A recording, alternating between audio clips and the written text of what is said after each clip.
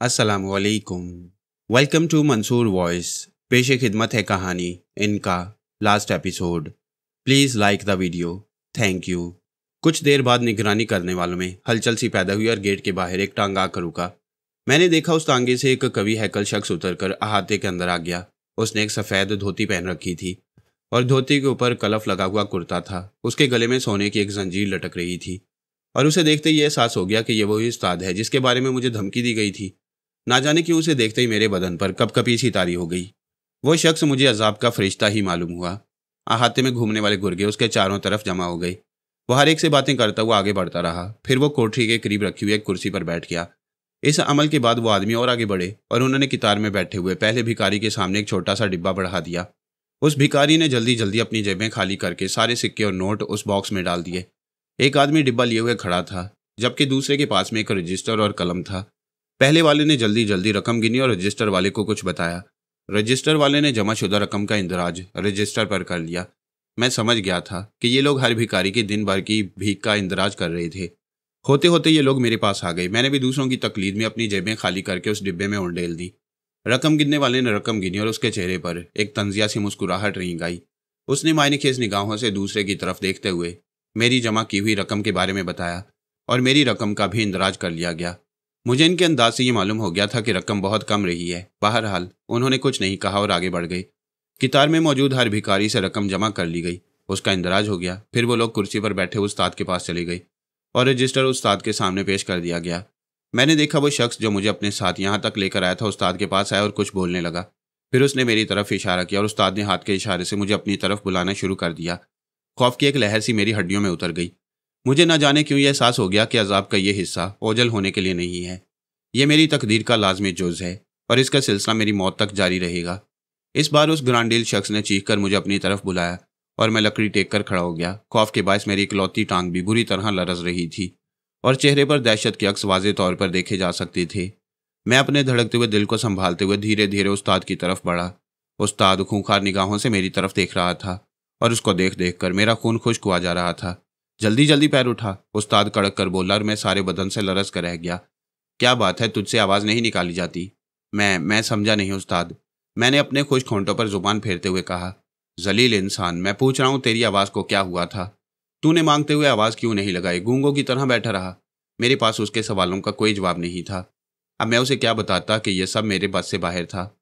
बोलता क्यों नहीं है? उस्ताद फिर धाड़ा, यह वाकई गूँगा हो गया है? यह पक्का बदमाश है उस्ताद? ग्रांडील ने उस्ताद से कहा इसको थोड़ा सा चंपी करवा दिया जाए। हूँ उस्ताद ने खुंकारी ली। ठीक है, इसे पिछवाड़े ले जाओ। चल बे मेरे साथ। ग्रांडील ने इस तरह मेरे शाने को धक्का दिया कि मैं गिरते गिरते बचा। मैं उसके साथ फिर चल पड़ा। मेरा जहन बिल्कुल बेहिस हो रहा था। बस एक धुंध के आलम में ज़िंदगी गुजार रहा था और ये धुंध मेरे चारों तरफ़ फैली हुई थी। मालूम नहीं वो मुझे कहाँ लिए जा रहा था, लेकिन मैं तो सिर्फ़ मशीन ही था। मैं उसके साथ उचक उचक कर चलता रहा। वह मुझे उस बैरक के पीछे ले आया जहाँ एक कोठरी बनी हुई थी। दूसरी कोठी के बरक्स, उस कोठरी का दरवाज़ा बहुत मज़बूत मालूम होता था। ग्रांडील ने मुझे इशारा किया और मैं खुले हुए दरवाजे से कोठरी के अंदर दाखिल हो गया। यहाँ फर्नीचर नाम की कोई चीज़ नहीं थी, अलबत्त पूरे फर्श पर घास पिछी हुई थी। उस कोठरी में कोई खिड़की या रोशनदान भी नहीं था। मेरे पीछे पीछे वो ग्रांड डील भी कोठरी में दाखिल हुआ और उसने पीछे मुड़कर कोठरी का दरवाज़ा अंदर से बंद कर दिया। मैं अभी तक कुछ समझ नहीं सका था कि उसने कोने में रखी हुई एक बैद की छड़ी उठाई और उसे हवा में गर्दिश देने लगा। साए साए की आवाज़ बुलंद होने लगी। अब मैं तेरी आवाज़ निकालता हूँ। वह छड़ी हवा में लहराता हुआ बोला, मेरा रहा सहा खून भी खुश्क हो गया। मैंने बिल बिलाकर कुछ कहने की कोशिश की, लेकिन उसका छड़ी वाला हाथ लहराया और वह छड़ी पूरी कुवत से मेरी पीठ पर पड़ी कि मैं उछल कर एक तरफ़ जा गिरा। ऐसा महसूस हुआ जैसे पीठ में जख्मों के जंगल उग गए हों और उन जख्मों में नमक की बोरियाँ छिड़क दी गई हों।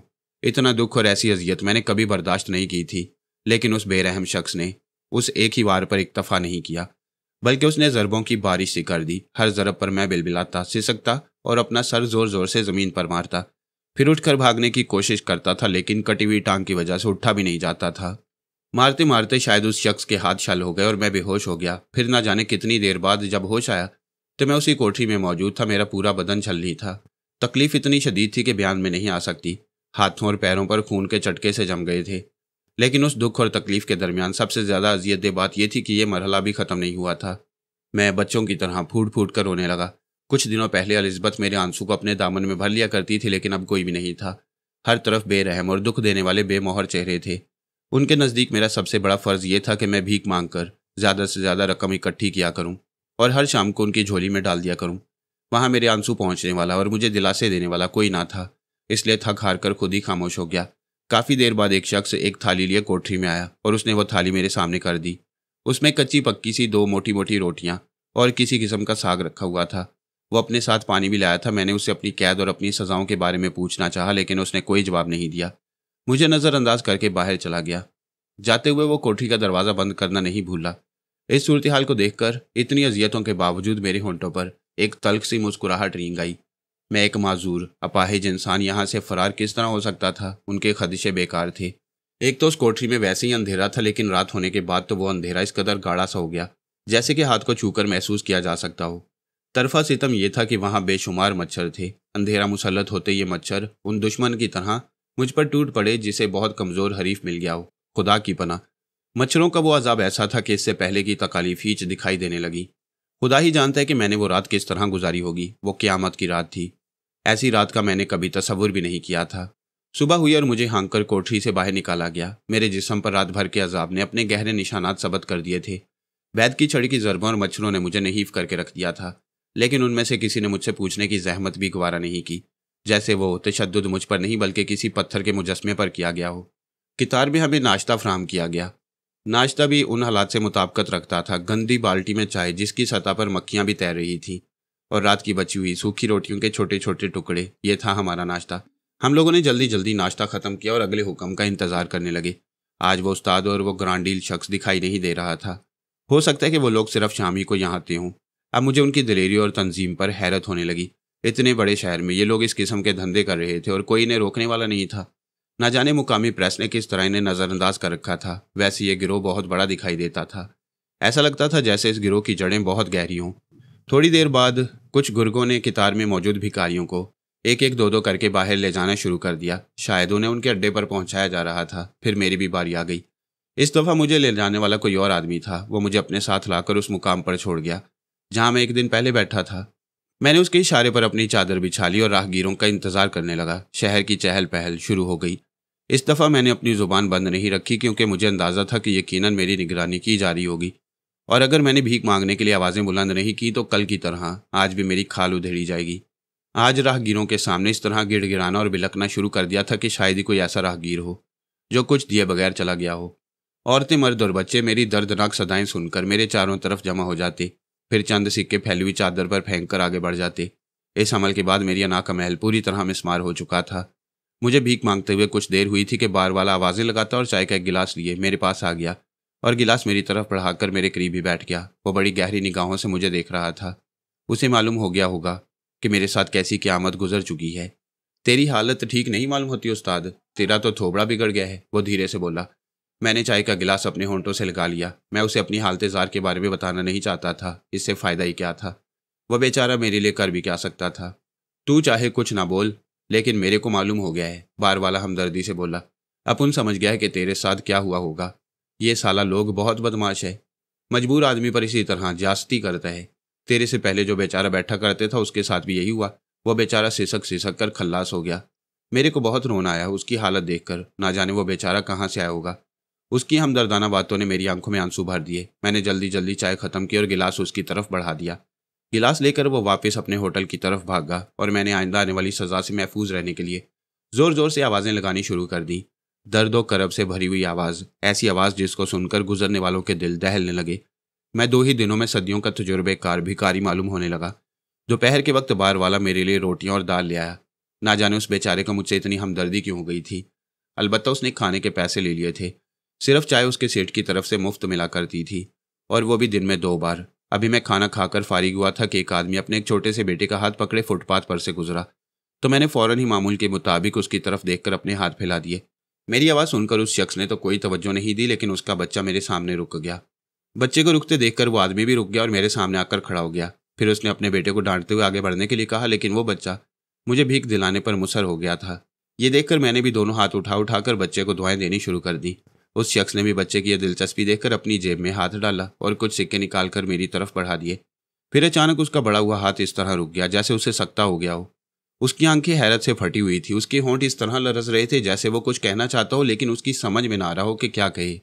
दूसरी तरफ़ खुद मैं भी उसे देखकर परेशान हो गया था। मैं उस शख्स को पहचानता था, ये शेखर था, मेरा बहुत ही अच्छा दोस्त। पुलिस के महकमे में ये मेरे साथ ही था। उससे मेरे और एलिजबत के बारे में सब कुछ मालूम था। मैंने फ़ौरन ही उसकी तरफ़ से निगाहें फेर ली थी, लेकिन मेरा दिल इस तरह धड़क रहा था जैसे अभी सीने की कैद से बाहर आ जाएगा। तुम तुम गुलाम गौस हो ना? शेखर ने मेरी तरफ़ इशारा करते हुए पूछा, नहीं तो मैंने जल्दी से नफे में गर्दन हिला दी। मैं तो एक भिखारी हूँ साहब। तुम किसकी बात कर रहे हो? झूठ मत बोलो, मैं तुम्हें भूल नहीं सकता। तुम्हारी क्या हालत हो गई है? आप भूल रहे हैं साहिब, मैं वो नहीं हूँ जिसे आप समझ रही हैं। इस बार शेखर ने कुछ नहीं कहा, लेकिन उसकी आँखें बता रही थी कि उसने मुझ पर यकीन नहीं किया। वो कुछ देर इसी तरह खड़ा रहा, फिर बच्चे का हाथ पकड़कर आहिस्ता कदमों चलता हुआ आगे बढ़ गया। लेकिन बार बार वो मुड़कर इस तरह देख लेता था जैसे, अब मैं उसे आवाज़ देकर बुला लूँगा। उसके जाने के बाद मैं सिसक उठा। ये कैसी सितम जरीफी थी। मेरी आँखों से खून सा टपकने लगा। खुदाए, ये कैसा अजाब था। मुझे घुमा फिराकर मफलूज बनाकर, एक भिखारी के रूप में मेरे अपने ही शहर में लाकर छोड़ दिया गया था। शेखर के जाने के बाद मेरा जहन भटकता रहा। मुझसे आवाज़ भी ठीक तौर से नहीं लगाई गई। मुझे एहसास था कि मैं अपने लिए बुरा कर रहा हूँ। खामोश रहकर अपनी सज़ा को आवाज़ दे रहा हूँ, लेकिन और क्या कर सकता था? मैं हाथों को ऊपर उठा देता, लेकिन आवाज़ नहीं निकलती थी। और अगर सदा लगाता भी तो बेअसर बेसूद राहगीर बगैर तवज्जो दिए परे परे गुजर जाते और मैं अपनी सज़ा की शिद्दत में इजाफा कर जाता। शाम तक कुछ ना कुछ जमा हो ही गया था और शाम होते ही मुझे भी उस अड्डे की तरफ़ हाँक दिया गया, जहाँ मैं एक रात गुजार चुका था। कल ही की तरह उस शाम भी वहाँ कार्रवाइयाँ दोहराई गईं। इस बार शायद मेरे हिस्से की रकम गुजशत दिन से कुछ ज़्यादा थी, इसलिए मुझसे बाज पुरस नहीं की गई, बल्कि उन्होंने बहुत बड़ा एहसान करके मुझे बख्श दिया और रूखी रोटी और दाल खाने के लिए कुछ फ़कीरों के साथ मुझे कोठरी में बंद कर दिया गया। यह कोठरी भी उस कोठरी की तरह थी जहाँ मुझे गुजशत दिन सजा दी गई। लेकिन गनीमत यह था कि कोठरी में खिड़कियाँ भी बनी हुई थी, जिनसे हवा अंदर आ रही थी और मच्छरों का धड़का कम हो गया था। गुजशत दिन की तरह आज भी दूसरे भिकारियों को मुझसे कोई दिलचस्पी नहीं थी। वो अपनी अपनी गुफ्तगु में मसरूफ़ थे। वहाँ एक से एक अगली सूरत माजूर और मफलूज लोगों का मजमा लगा हुआ था। उनमें से हर एक इंसान के नाम की तोहिन था। मैं भी उन लोगों से बेनियाज होकर खिड़की के पास घास के बिस्तर पर लेट गया। मुझे गहरी नींद आ रही थी और आदमी जैसे भी हाल में हो नींद उसे आग घेरती है। कुछ देर बाद मैं बेखबर सो रहा था, लेकिन नींद का वो सिलसिला ज़्यादा देर जारी नहीं रह सका। हंगामे से आँखें खुल गईं और यह हंगामा लोगों की चीखों पुकार और भाग दौड़ का था। ऐसा लगता था जैसे दो फौजें एक दूसरे से टकरा गई हों। इक्का दुक्का गोलियाँ चलने की आवाज़ें भी आ रही थी। हम सब चौंक कर उठ बैठे, सबकी हालत ख़राब थी। मेरे अलावा सभी दहशत ज़दा थे और मेरी हालत थी कि मैं तो अब बेहिस हो ही चुका था। ज़िंदगी के तलख तजुर्बात की एक करवट और सही, क्या फ़र्क पड़ जाता था? लेकिन समझ में नहीं आ रहा था कि क्या हो रहा है। कुछ देर बाद वहाँ खामोशी तारी हो गई। अलबत्त इस खामोशी में किसी के हुक्म देने की आवाज़ें गूंजने लगी और उस कोठी का दरवाज़ा धड़ से खुल गया, जिसमें हम लोग बैठे हुए थे। दरवाज़ा खुलते ही कुछ लोग अंदर घुस आए। आने वालों के हाथों में टॉर्चें थी, जिनकी रोशनियों को लहरा लहरा कर उन्होंने हमें बाहर निकलने का हुक्म देना शुरू कर दिया। मैंने आने वालों को पहचान लिया।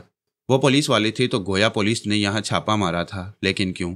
पुलिस को इतने दिनों के बाद यहाँ छापा मारने का क्यों ख्याल आया?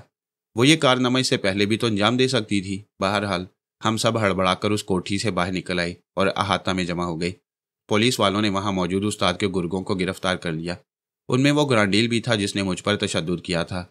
अहाते में और अहाते से बाहर कुछ गाड़ियाँ भी खड़ी हुई थी। देखते ही देखते गिरफ़्तार शुदा लोगों को हाँक हाँक कर गाड़ियों में पहुँचाया गया। फिर मैंने इस हंगामे में शेखर को भी देख लिया। उसे देखकर मेरा दिल फिर फड़फड़ाने लगा। गोया ये खेल उसी का रचाया हुआ था। उसी ने छापे के इंतज़ाम किए थे, लेकिन क्यों? क्या मेरे लिए किया? क्या वो मुझे पहचान गया था? या ये मामूल के मुताबिक पुलिस की कार्रवाई थी? मेरा उससे कोई ताल्लुक नहीं था। मैं उसकी निगाहों से बचने के लिए एक तरफ़ घुटनों में सर देकर बैठ गया। हम लोगों को भी मुख्तलिफ़ गाड़ियों में सवार करा दिया गया। मेरे सीने में चाकू से चल रहे थे, अनजाने वसवसों ने आग घेरा था। मैंने तो अपनी सज़ाओं को अपना मुकद्दर समझकर, बर्दाश्त करने की आदत बेदार करनी शुरू कर दी थी। ये सज़ा अब और कड़ी महसूस होने लगी थी, काश मुझे शेखर पहचान ना सकता। हमें एक थाने में पहुँचा दिया गया। थाने की उस कोठरी में बंद होने वाले कुल पाँच आदमी थे। बाकी लोगों को कहाँ रखा गया, ये मुझे मालूम नहीं हो सका। और ना ही मुझे उनकी तरफ़ से कोई तशवीश थी। मुझे तो अपने आप को समेटने और बचाने की फ़िक्र लगी हुई थी। मेरे साथ बंद दूसरे फ़कीरों को भी इस बात की कोई परवाह नहीं थी। कि उन्हें कहाँ से निकाल कर कहाँ पहुँचा दिया गया है। वो इतने बेहिस हो चुके थे कि उनके लिए जेल के अंदर और जेल से बाहर एक ही जैसा मामला था। वो हर हाल में मगन थे।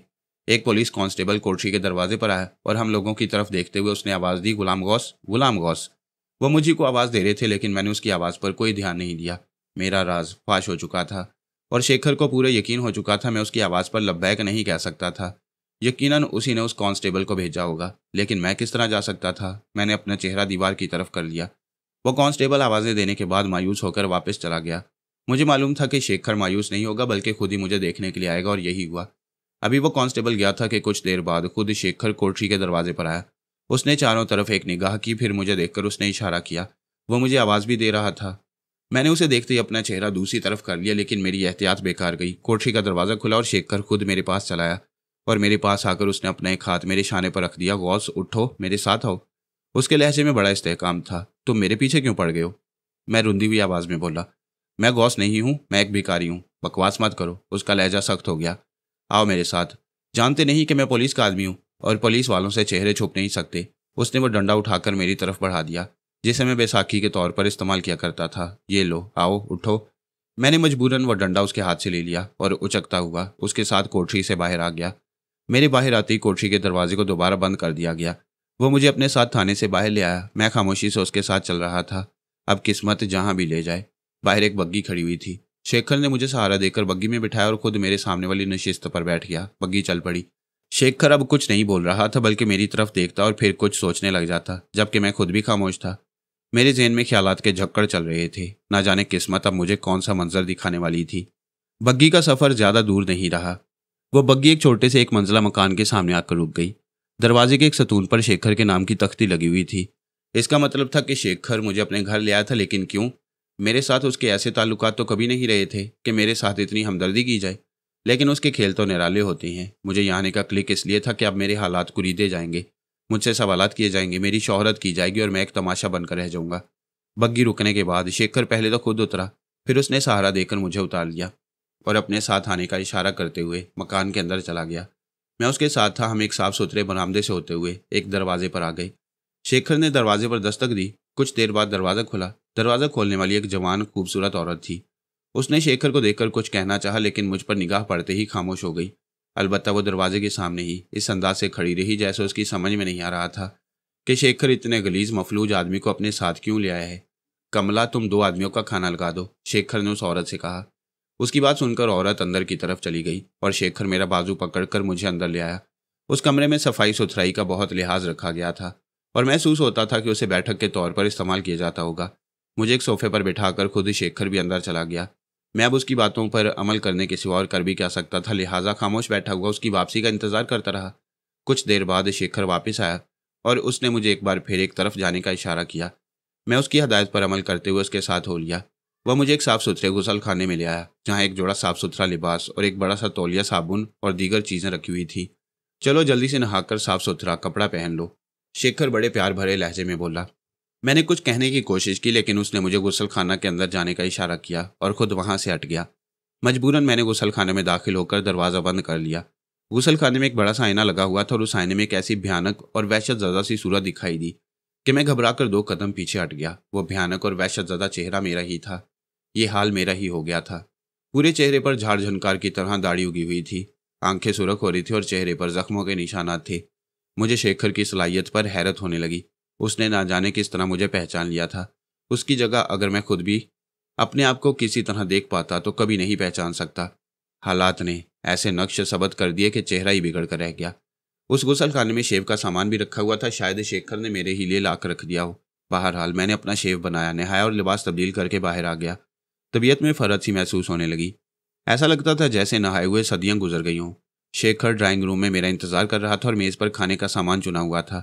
मुझे वापस आते देखकर वो बेसाख्ता मुस्कुरा दिया देखा, कैसी सूरत निकल आई है। अब जल्दी से कुछ खा लो, फिर तुमसे बातें होंगी। मैं किसी मामूल की तरह कुर्सी पर बैठ गया और खाना शुरू कर दिया। शेखर इस दौरान चुपचाप मेरी तरफ़ देखता रहा। उसे आदमी की नफसियात से खेलने का फन आता था। आदमी जब किसी के एहसान तले दबा हुआ हो तो किसी बात से इनकार करना मुश्किल हो जाता है। खाने के बाद चाय भी पेश की गई। चाय लाने वाली शेखर की बीवी कमला थी, जिससे शेखर ने मेरा तारुफ करवा दिया था। चाय से फरागत हासिल कर लेने के बाद मैं सिगरेट सुलगाकर सोफे पर नीम दराज हो गया। उस वक्त बहुत ही आराम महसूस हो रहा था। हाँ अब शुरू हो जाओ, शेखर ने मेरी तरफ़ देखते हुए कहा। लेकिन एक बात याद रखो कि मैंने तुम्हें अपना दोस्त समझा है, और अभी तक शायद तुमने भी अंदाज़ा लगा लिया होगा कि मैं तुमसे कितनी हमदर्दी और मोहब्बत रखता हूँ। इसलिए तुम मुझसे कुछ मत छुपाओ। मैं सब कुछ जानना चाहता हूँ। तुम क्या पूछना चाहते हो? मैं धीरे से बोला, मेरी कहानी पर शायद तुम्हें यकीन नहीं आएगा। तुम मुझे झूठा समझोगे? नहीं, मैंने तुम्हें जिस हाल में देखा उसके बाद मुझे तुम्हारी हर बात सच मालूम होगी। तुम उस वक्त से बताना शुरू करो, जब तुम अलिजबत को लेकर बम्बई से बाहर चले गए थे। उसके बाद से तुम्हारा कोई सुराग नहीं मिल सका। फिरंगियों ने तुम्हारी तलाश में पूरा हिंदुस्तान छिनवा डाला था। अलिजबत का नाम सुनकर दिल में खूक सी उठ गई। बहुत देर तक दिले बेकरार को करार नहीं आ सका। ऐसा लगा था जैसे बहुत करीब ही से अलिजबत ने मुझे आवाज़ दी हो। बेचैन होकर मुझे पुकारा, हो, मैं अपनी आँखें बंद करके उसके तस्वुर में खोया रहा। फिर बहुत देर बाद जब इस तरह में कमी हुई तो मैंने अपनी कहानी सुनानी शुरू कर दी। मैंने कोई बात नहीं छुपाई। मैं किस तरह लिजबत को बंबई से लेकर निकला था, किस तरह रेल का हादसा हुआ। जहाँ भोमल से मेरी मुलाकात हुई, फिर मुझे और अलिजबत को भोमल के अड्डे पर पहुँचा दिया गया। वहाँ कैसे हालात पेश आए? फिर रही की मदद से मैं किस तरह वहाँ से एक गाँव में आया? गर्ज ये कि मैंने कुछ भी पोशीदा नहीं रखा। और उसे अपनी कहानी सुनाते हुए कुछ सुकून सा महसूस हो रहा था। जब जख्मों पर मरहम रखने वाला कोई मौजूद हो तो उसे जख्म दिखा दिया करती हैं। इस तरह जख्म मुंदमिल हो जाया करती हैं। मेरी कहानी सुन सुनकर शेखर का बुरा हाल हो गया। कभी उसकी आँखें हैरत से वाह हो जाती और कभी उनमें बेयकीनी सी झलकने लगती। उसने दरमियान में दो एक बार कुछ बोलना भी चाहा, लेकिन फिर कुछ सोचकर खामोश रह गया। इस कहानी को सुनाने के दौरान मैंने कई सिगरेटें फूंक डाली। हर लम्हे इस तरह बढ़ता ही जा रहा था। कोई तो ऐसा मिला था जिसके सामने मैं अपने दिल की भड़ास निकाल सकता, और इत्तफाक से यह शख्स मेरा आशना भी था। यह मेरे बिफरे हुए जज्बों की दास्तान से वाकिफ था यह मेरे माजी से भी वाकिफ था। यह जानता था कि मैंने क्या क्या कारनामे अंजाम दिए हैं, कितने लोग मेरे मोतकद थे। मेरे आगे पीछे रहा करते थे, लेकिन उसे यह नहीं मालूम था कि सब करिश्मा साजियाँ इनका की थी। इनका के बारे में सुनकर उसकी हैरत और भी बढ़ गई। उसके पास मेरी कहानी को झुटलाने की हिम्मत ही नहीं थी। मेरी कहानी खत्म हो गई। मुझे तो थोड़ा सा सुकून मालूम हो रहा था, लेकिन मुझे नहीं मालूम कि शेखर के अंदर कैसी हलचल सी मच गई। वो इस तरह में कभी खड़ा हो जाता, कभी कमरे में टहलने लगता, कभी उसकी आँखों में मेरे लिए नफरत महसूस होती और कभी मोहब्बत का दरिया लहरें लेता हुआ दिखाई देता। उसके रुए से ऐसा ज़ाहिर हो रहा था जैसे वो बहुत बड़ी कशमकश में मुबतला हो गया हो। मुझे भी उससे बहुत कुछ पूछना था, मैं बहुत दिनों से बेखबर था। अनजान सरजमीनों की सैर करता फिर रहा था, इसलिए यहाँ के हालात मुझसे मख्फी थे। ना जाने यहाँ कैसी कैसी तब्दीलियाँ आ चुकी होंगी, हालात ने कैसी करवटें ली होंगी। बिलाखिर। जब शेखर की इस तरह भी कैफियत ख़त्म हुई तो वह मेरे सामने ही बैठ गया। तुम्हारी कहानी बहुत ही हैरान करने वाली है, उसने कहा। अगर तुम्हारी जगह ये कहानी किसी और ने सुनाई होती तो मैं कभी यकीन न करता। लेकिन मैं तुम्हारे करिश्मे और तुम्हारी ताकत देख चुका हूँ, इसलिए ना चाहते हुए भी यकीन करना पड़ रहा है। मैं तो पागल होकर रह गया हूँ कि आदमी के साथ ऐसे हालात भी पेश आ सकती हैं। मैं जेर लम मुस्कुरा दिया, वो ठीक ही कहता था। अगर उसकी जगह मैंने भी ये कहानी किसी और को सुनाई होती तो वो भी कभी इस पर यकीन ना करता। तुमने तो बहुत सी बातें बता दी। अब मैं तुम्हें कुछ बताता हूँ। शेखर मेरी तरफ़ देख कर बोला, क्या तुम्हें मालूम है कि अलिजबत कहाँ है? नहीं, मैंने इनकार में गर्दन हिला दी। मुझे कुछ मालूम नहीं। मैंने उसे एक गाँव में छोड़ा था। वो आजकल बम्बई में है। शेखर धीरे से बोला, उसकी बात सुनकर मैं उछल पड़ा। अगर फ़ौरन शेखर ने आगे बढ़कर मुझे संभाल ना लिया होता तो मैं सोफे से नीचे गिर सकता था। उसने अजीब खबर सुना दी थी। मुझ पर मदहोशी सी तारी हो गई थी। जिस तरह शेखर को मेरी कहानी ने हैरत में डाल दिया, उसी तरह ये खबर मेरे लिए हैरान कन थी। तुम क्या कह रहे हो? मैंने अपने आप को संभालते हुए पूछा, ऐसा किस तरह हो सकता है? ऐसा ही हुआ है, शेखर ने कहा। तुमने उसे जिस गाँव में छोड़ा था, उसे वहीं से तलाश किया गया। गाँव वालों के लिए उसके खदोखाल अजनबी थे तो वो समझ गए कि वो कोई मेम है और किसी हिंदुस्तानी के साथ देखी जा रही है। इसलिए उन्होंने करीबी पुलिस स्टेशन में इतला कर दी। उस पुलिस स्टेशन वालों को उसके बारे में पहले ही इतला दे दी गई थी। उन्होंने बम्बई पुलिस से रबता कायम किया। बस फिर क्या था? जैक्सन ने उसे लाने के लिए पूरा एक दस्ता रवाना किया और उसे गाँव से बम्बई ले आया। तुम्हारी चूँकि कोई खबर नहीं थी इसलिए उसने वावेला मचाने की बहुत कोशिश की, लेकिन पूरी इंतजामिया उसके पीछे पड़ गई। लंदन में भी हंगामा बर्पा हो गया और अब उसे वापस लंदन भेजा जा रहा है। वो अगले हफ़्ते तक यहाँ से चली जाएगी। एक क्यामत थी जो मुझ पर बड़ी खामोशी के साथ टूट पड़ी थी। जहनस पूरी तरह उलझ गया था कि कुछ भी समझ में नहीं आ रहा था। अगर अलिजबत मुसलसल निगाहों के सामने रही है तो वो कौन थी जिसे मैंने बर्फ़ के मैदान में देखा था? हो सकता है कि उसकी शख्सियत को दो हिस्सों में इसलिए तकसीम कर दिया गया हो कि अपनी मोहब्बत के अंजाम पर मैं रोता रहूँ। जहनी खलजान, में मुबतला होकर पागल हो जाऊँ। क्या तुम मुझे उससे मिलवा सकते हो? मैंने शेखर से पूछा। क्यों नहीं? शेखर ने कहा, उसे ताजमहल होटल में ठहराया गया है। अब तुम आराम करो। कल मैं तुम्हें खुद ही वहाँ पर ले चलूँगा। एक बात ये बताओ कि तुमने मुझे किस तरह पहचान लिया? और वह छापा क्या सिर्फ़ मेरी वजह से डाला गया था? मैं तुम्हें पहली नज़र में पहचान गया था। शेखर मुस्कुरा दिया। लेकिन जब तुमने सख्ती से तरदीद की तो मैं खुद भी शक में मुबतला हो गया। इसके बावजूद मैंने हिम्मत नहीं हारी और अपने एक आदमी को तुम्हारी निगरानी के लिए मुकर कर दिया। उसने मुझे आकर रिपोर्ट दी कि बहुत से फ़कीरों को चमड़ पट्टी के एक अहाते में रखा गया था। इत्तफाक से वो जगह पहले ही से हमारी निगाहों में थी। इस तरह एक पिंथ दो काज हो गई। मैंने फौरी तौर पर छापा मारने का इंतज़ाम किया और अब तुम मेरे सामने मौजूद हो। तो इस तरह मैंने तुम्हें दरियाफ्त किया। मेरा जी चाहा कि उससे पूछ लूँ कि उसने मुझ पर ऐसा जुल्म क्यों किया? मुझे गुमनाम भिकारी क्यों नहीं रहने दिया? वहाँ सारी दुश्वारियाँ तो थी, लेकिन इस किस्म की कोई खलिश तो नहीं थी। ज़िंदगी किसी न किसी तरह सिसकते हुए गुजर रही थी, लेकिन हो सकता था कि कुदरत इस बहाने से ही मुझे एलिजबत से मिलवाना चाहती हो। शेखर ने मेरे सोने के लिए कमरा खाली करवा दिया, जहाँ बहुत आरामदेह बिस्तर लगा हुआ था, और उस बिस्तर पर लेटकर मेरी अरसे की कोफ्त दूर हो गई। टूटे और थके हुए जिसम को ऐसा आराम मिल रहा था, जैसे इन्हीं बातों की तमन्ना हो। मुझे नींद आने में देर नहीं लगी बस पलकें झपकी और मैं गिरदो पेश से बेखबर होता चला गया। दूसरे दिन मैं बहुत देर तक सोता रहा, लेकिन जब सोकर उठा और नहा धोकर शेखर के पास आकर बैठा तो सारी थकावट हवा हो चुकी थी। मुझे खुद एहसास हो गया था कि मेरे चेहरे की गई हुई शादाबी थोड़ी बहुत वापस आ चली है। नाश्ता और चाय से फरागत हासिल करने के बाद शेखर ने मुझे अपने साथ लिया और मकान से बाहर आ गया। अब वो मुझे लिस्बत से मिलवाने के लिए ले जा रहा था। क्या आप इस बेकरारी और इस तड़प का अंदाज़ा कर सकते हैं, जो इस वक्त मुझमें थी? ताजमहल होटल की रौनक वही पहले की तरह थी। रईसों, सनतकारों और बड़े ऑफिसरों की आमाजगा। अगर मैं एक भिखारी के रूप में होता तो मुझे गेट से ही भगा दिया जाता। लेकिन शेखर के दिए हुए कपड़ों और उमदा बैसाखी ने मेरी शख्सियत ही बदल दी। मैं मफलूज तो था, लेकिन एक मोज़ मफलूज। मैं ये बताना ही भूल गया कि सुबह सवेरे शेखर मेरे नाप के कपड़े और एक उमदा सी बैसाखी खरीद लाया था। एक माजूर इंसान के लिए बैसाखी से अच्छा तोहफा और क्या हो सकता है? उस शख्स ने मुझ पर एहसानात के ढेर लगा दिए थे। आदमी उस वक्त तक अपने खोल में छुपा रहता है जब तक उसे अंदर से ना देख लिया जाए। करीब जाने ही पर शख्सियत के छिलके उतरने लगती हैं और इंसान अपने असली रूप में सामने आ जाता है। शेखर को लिस्बत के कमरे का नंबर मालूम था इसलिए वो बराह रास्त मुझे उसी कमरे के दरवाजे पर ले आया। हम दोनों दरवाजे पर आकर खड़े हो गए। उस वक्त मेरी जो कैफियत हो रही थी उसे मैं कभी बयान नहीं कर सकता। मेरे पास अपने इजहार के लिए इतने अल्फाज ही नहीं है। मैंने शेखर की तरफ़ बेचैन निगाहों से देखा और उसने मेरी निगाहों का मफहूम समझते हुए दरवाजे पर दस्तक दे दी। चंद लम्हों की खामोशी के बाद दरवाज़ा खुल गया और एक अंग्रेज़ी खड़ा हुआ दिखाई दिया। कभी हैकल खुश लिबास और खुश सूरत अंग्रेज़। वह सवाली अंदाज में शेखर से मुखातिब हुआ, क्या बात है? मैं पुलिस इंस्पेक्टर शेखर हूँ, शेखर ने कहा। अलिजबत साहिबा से मुलाकात करनी है, और ये कौन है? उस शख्स ने मेरी तरफ़ इशारा किया यह मेरा दोस्त है, शेखर ने जवाब दिया, इसे भी मिलना है। वह शख्स कुछ देर तक उलझी हुई निगाहों से हमारी तरफ़ देखता रहा, फिर अंदर चला गया। जाते हुए उसने दरवाज़ा बंद कर दिया था।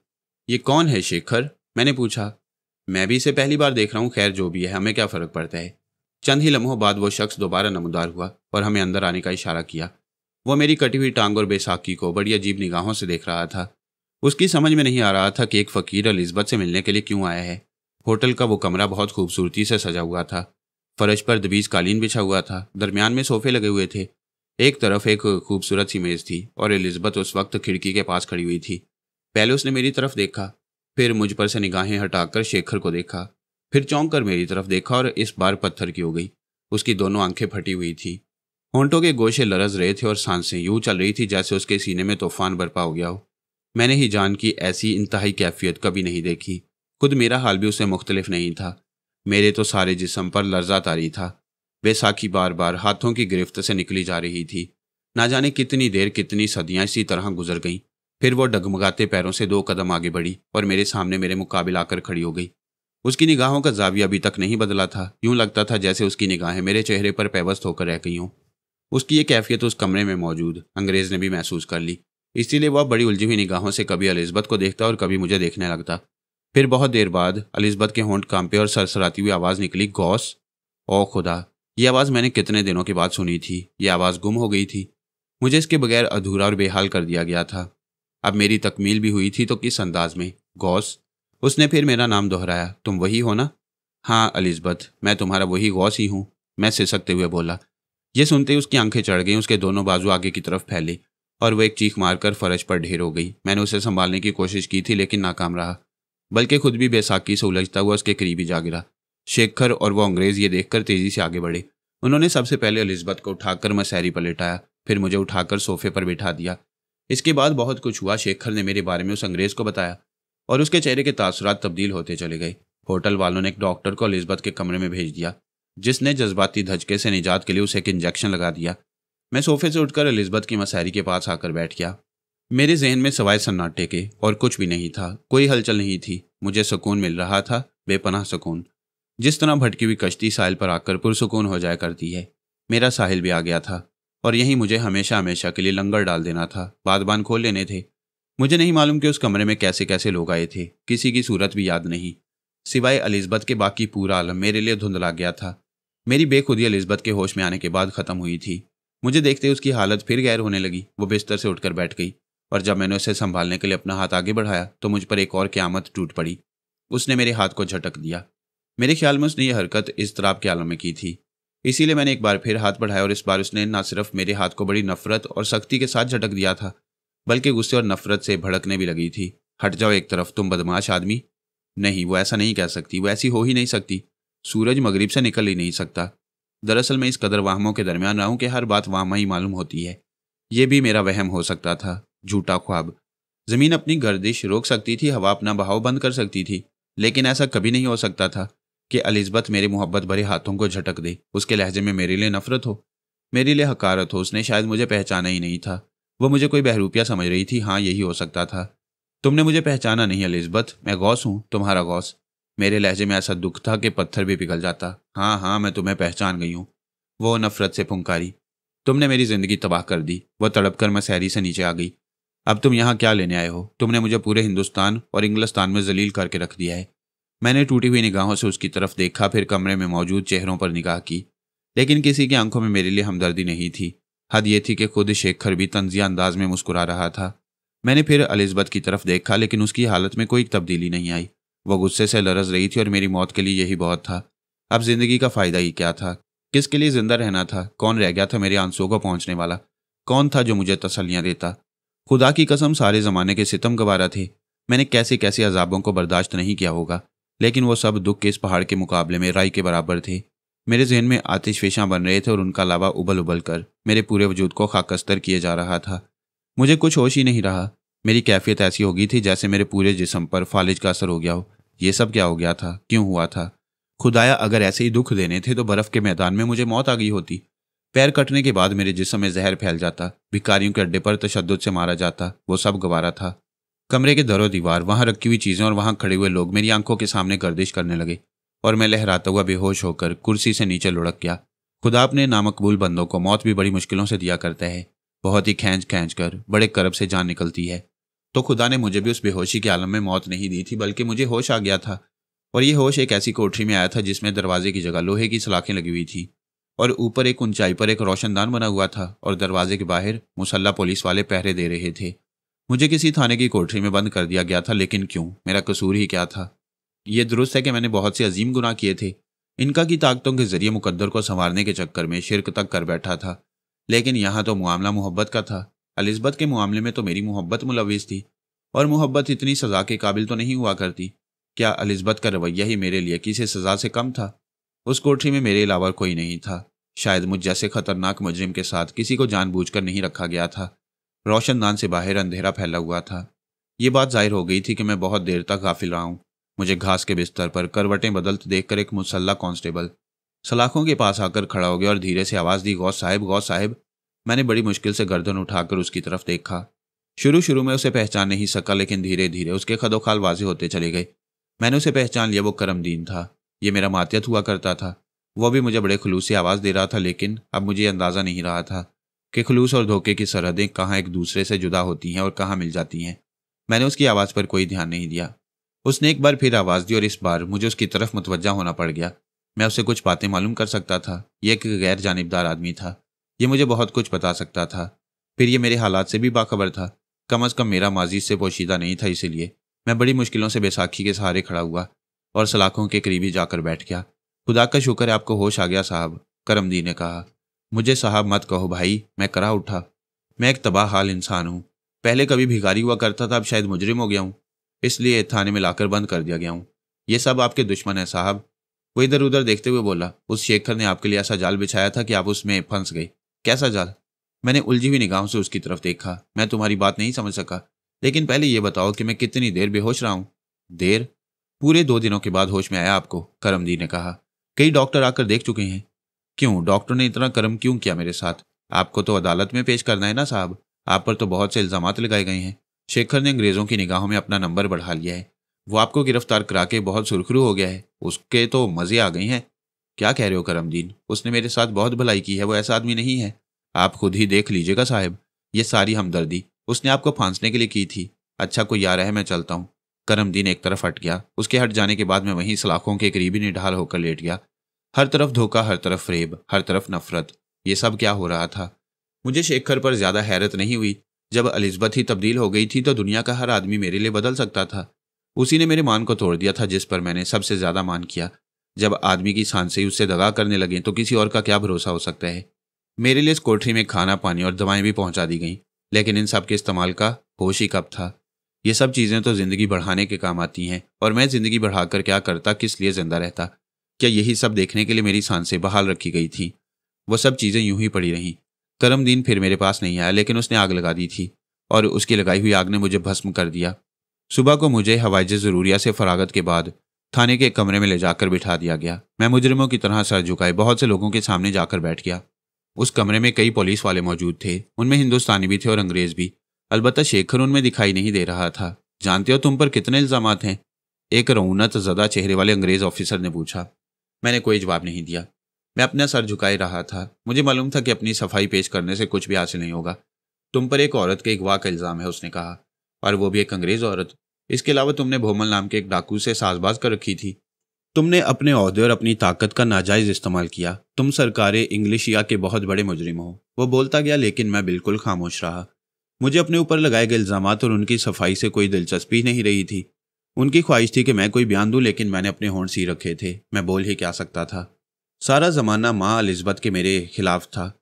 उनकी डांट डपट भी मुझ पर असरअंदाज नहीं हो सकी। मैंने उनकी तरफ़ देखा भी नहीं, निगाहें झुकाए बैठा ही रहा। फिर मजबूरन मुझे मेरी कोठरी में वापस भेज दिया गया। दो तीन दिन इसी तरह गुजर गए करम दिन भी उसके बाद दिखाई नहीं दिया, और ना ही शेखर की सूरत दिखाई दी। मुझे वक्त पर खाना पानी पहुँचा दिया जाता, लेकिन उन सबों को इस्तेमाल करने का यारा ही किस्में था? वो चीज़ें उसी तरह वापस चली जाती। मैं तो अब बेहिसी के उस मुकाम पर था जहाँ तवानाई और ना ताकती का भी एहसास नहीं हुआ करता। सारे हालात एक ही जैसे हो जाते हैं। जहन मुंजमिद होकर रह जाता है। तीन दिन के बाद मुझे उस कोठरी से निकाल कर एक इमारत में पहुँचाया गया।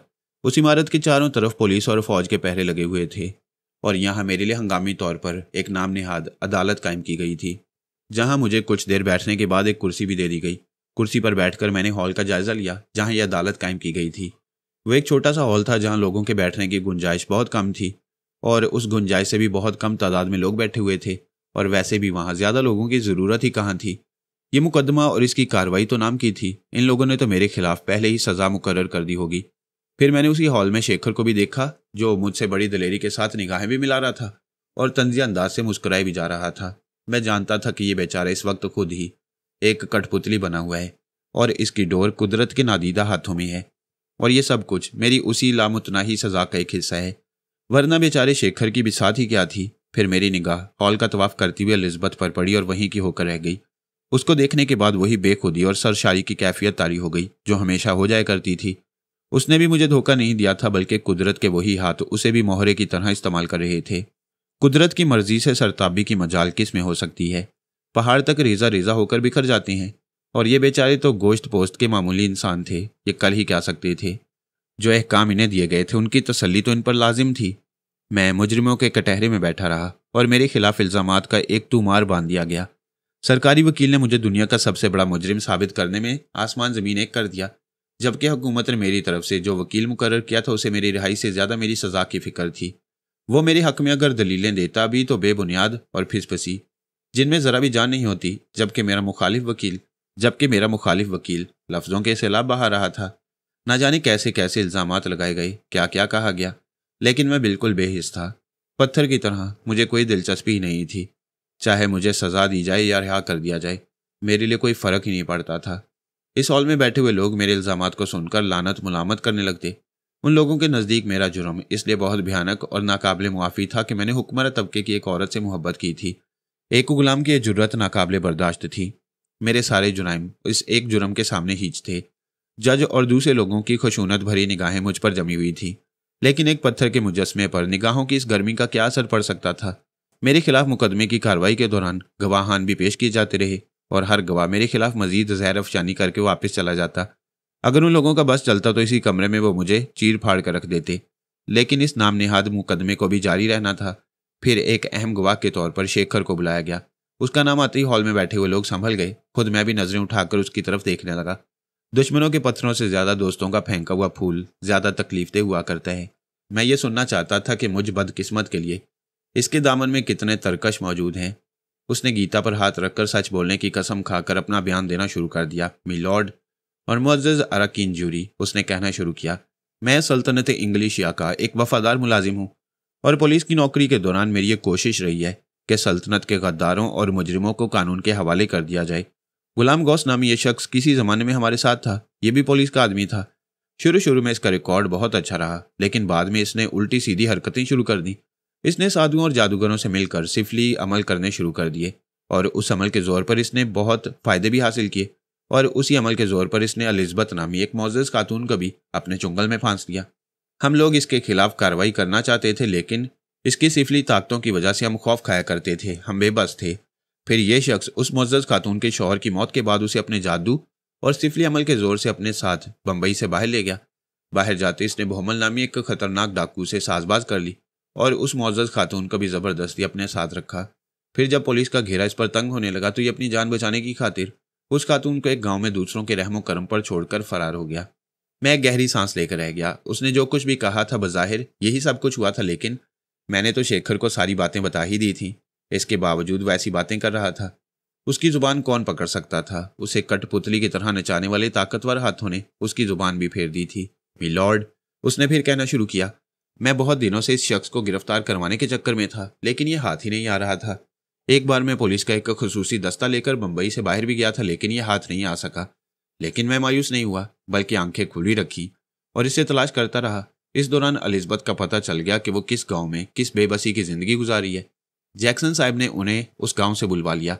चूँकि उसके गायब होने के बाद अलिजबत के ऊपर से इस शख्स का तलीसम खत्म हो गया था, इसलिए मोजस खातून ने इस शख्स की कमीनगी की दास्तान हमें सुना डाली।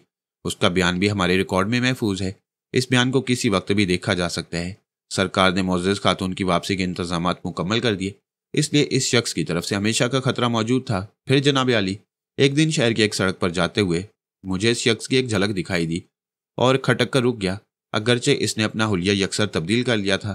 पूरे जिसम पर जख्मों के निशानात बना लिए थे। चेहरे पर घनी दाढ़ी बना ली थी और सबसे बढ़कर ये कि अपनी एक टांग भी कटवा ली थी। हजूरे वाला, इस किस्म के मुजरिम अपने आप को कानून की निगाहों से महफूज रखने के लिए बड़ी से बड़ी हरकत कर गुजरती हैं।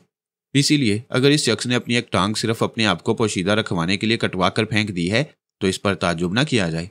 हमारे सामने रुस्तम दादा का केस मौजूद है। उस शख्स ने अपने आप को पोशीदा रखने के लिए अपनी एक आँख निकलवा ली थी। तो जनाब आली, इस किस्म के मुजरिमों से कुछ भी बईत नहीं हुआ करता। लेकिन इसके इन तमाम हरबों के बावजूद मैंने उसे पहचान लिया और अपना शक दूर करने के लिए उसे पूछगिछ की। लेकिन यह आसानी से अपने आप को गौस बताने के लिए तैयार नहीं था। मुझे कुछ होशियारी करनी पड़ गई। उसके बयान को सुनकर गम और गुस्से से मैं खोल उठा। मैंने अपनी ज़िंदगी में इससे बड़ा झूठ और बहतान कहीं नहीं सुना था। इस शख्स ने मेरी माजूरी को भी तमाशा बनाकर पेश कर दिया था। उसे मेरा झूठ और फरेब करार दिया। मेरा जी चाहा कि मैं इस शख्स के टुकड़े बखेर दूँ। इसका हर लफ्ज़ मेरी रूह पर ताजियाने लगा रहा था। मैं ये भूल गया था कि मुकद्दर ने इसकी ज़ुबान में अपने अल्फाज रख दिए हैं। ये जो कुछ बोल रहा था अपनी मर्ज़ी और अपने इरादे से नहीं बोल रहा।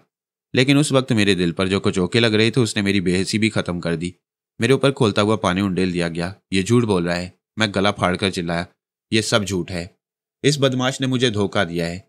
मैंने बेसाखी के ज़रिए उस कटहरे से बाहर आने की कोशिश की। लेकिन मुझे पुलिस वालों ने ज़बरदस्ती कुर्सी पर बिठा दिया। मैं पूरे बदन से इस तरह लरसने लगा जैसे तब चढ़ गई हो। लफ्ज़ों के जख्म तशद के जख्म से ज़्यादा अजियतनाक थे। बैठने के बाद बेबसी की शिद्दत से मेरी आँखों में आँसू आ गए। मेरे साथ ये कैसा जुल्म हो रहा था? मैंने अब तक सब कुछ बर्दाश्त कर लिया था, लेकिन इस किस्म की जहनी अजियत बर्दाश्त से बाहर थी। मी लॉर्ड शेखर ने फिर बोलना शुरू किया। मैंने जब इस शख्स से इसके बारे में दरियाफ्त किया तो इसने साफ़ इनकार कर दिया। ये अपनी शनाख्त बताने के लिए तैयार ही नहीं था, लिहाजा मैंने खुद इसकी निगरानी की। मैं ये देखना चाहता था कि इस शख्स का क्या कहाँ है, और सच पूछे, मी लॉर्ड तो इसके इनकार से मैं खुद भी शक में मुबतला हो गया। लिहाजा मुकम्मल यकीन के लिए जानना ज़रूरी था कि यह कहाँ रह रहा है। इस तरह मैं इसका ताकुब करते हुए चमड़ पट्टी पहुँच गया, जहाँ उस्ताद रामू के हाथे में इसने क्या कर रखा था। जनाब अली मैं अपने मुकम्मल बयान के बाद उस्ताद रामू को भी अदालत के सामने पेश करूँगा, ताकि इस शख्स की दूसरी हरकतें भी सामने आ जाएँ। और ये मालूम हो जाए कि यह शख्स कितना बड़ा और भयानक मुजरिम है। खैर, वहाँ पहुंचकर मैंने उस्ताद रामू से मुलाकात की और उसने तस्दीक कर दी कि यही गुलाम गौस है। फिर उसी रात मैंने छापे का इंतज़ाम किया और अहाते पर अचानक छापा डलवाकर मैंने दूसरे लोगों के साथ इस शख्स को भी गिरफ़्तार कर लिया।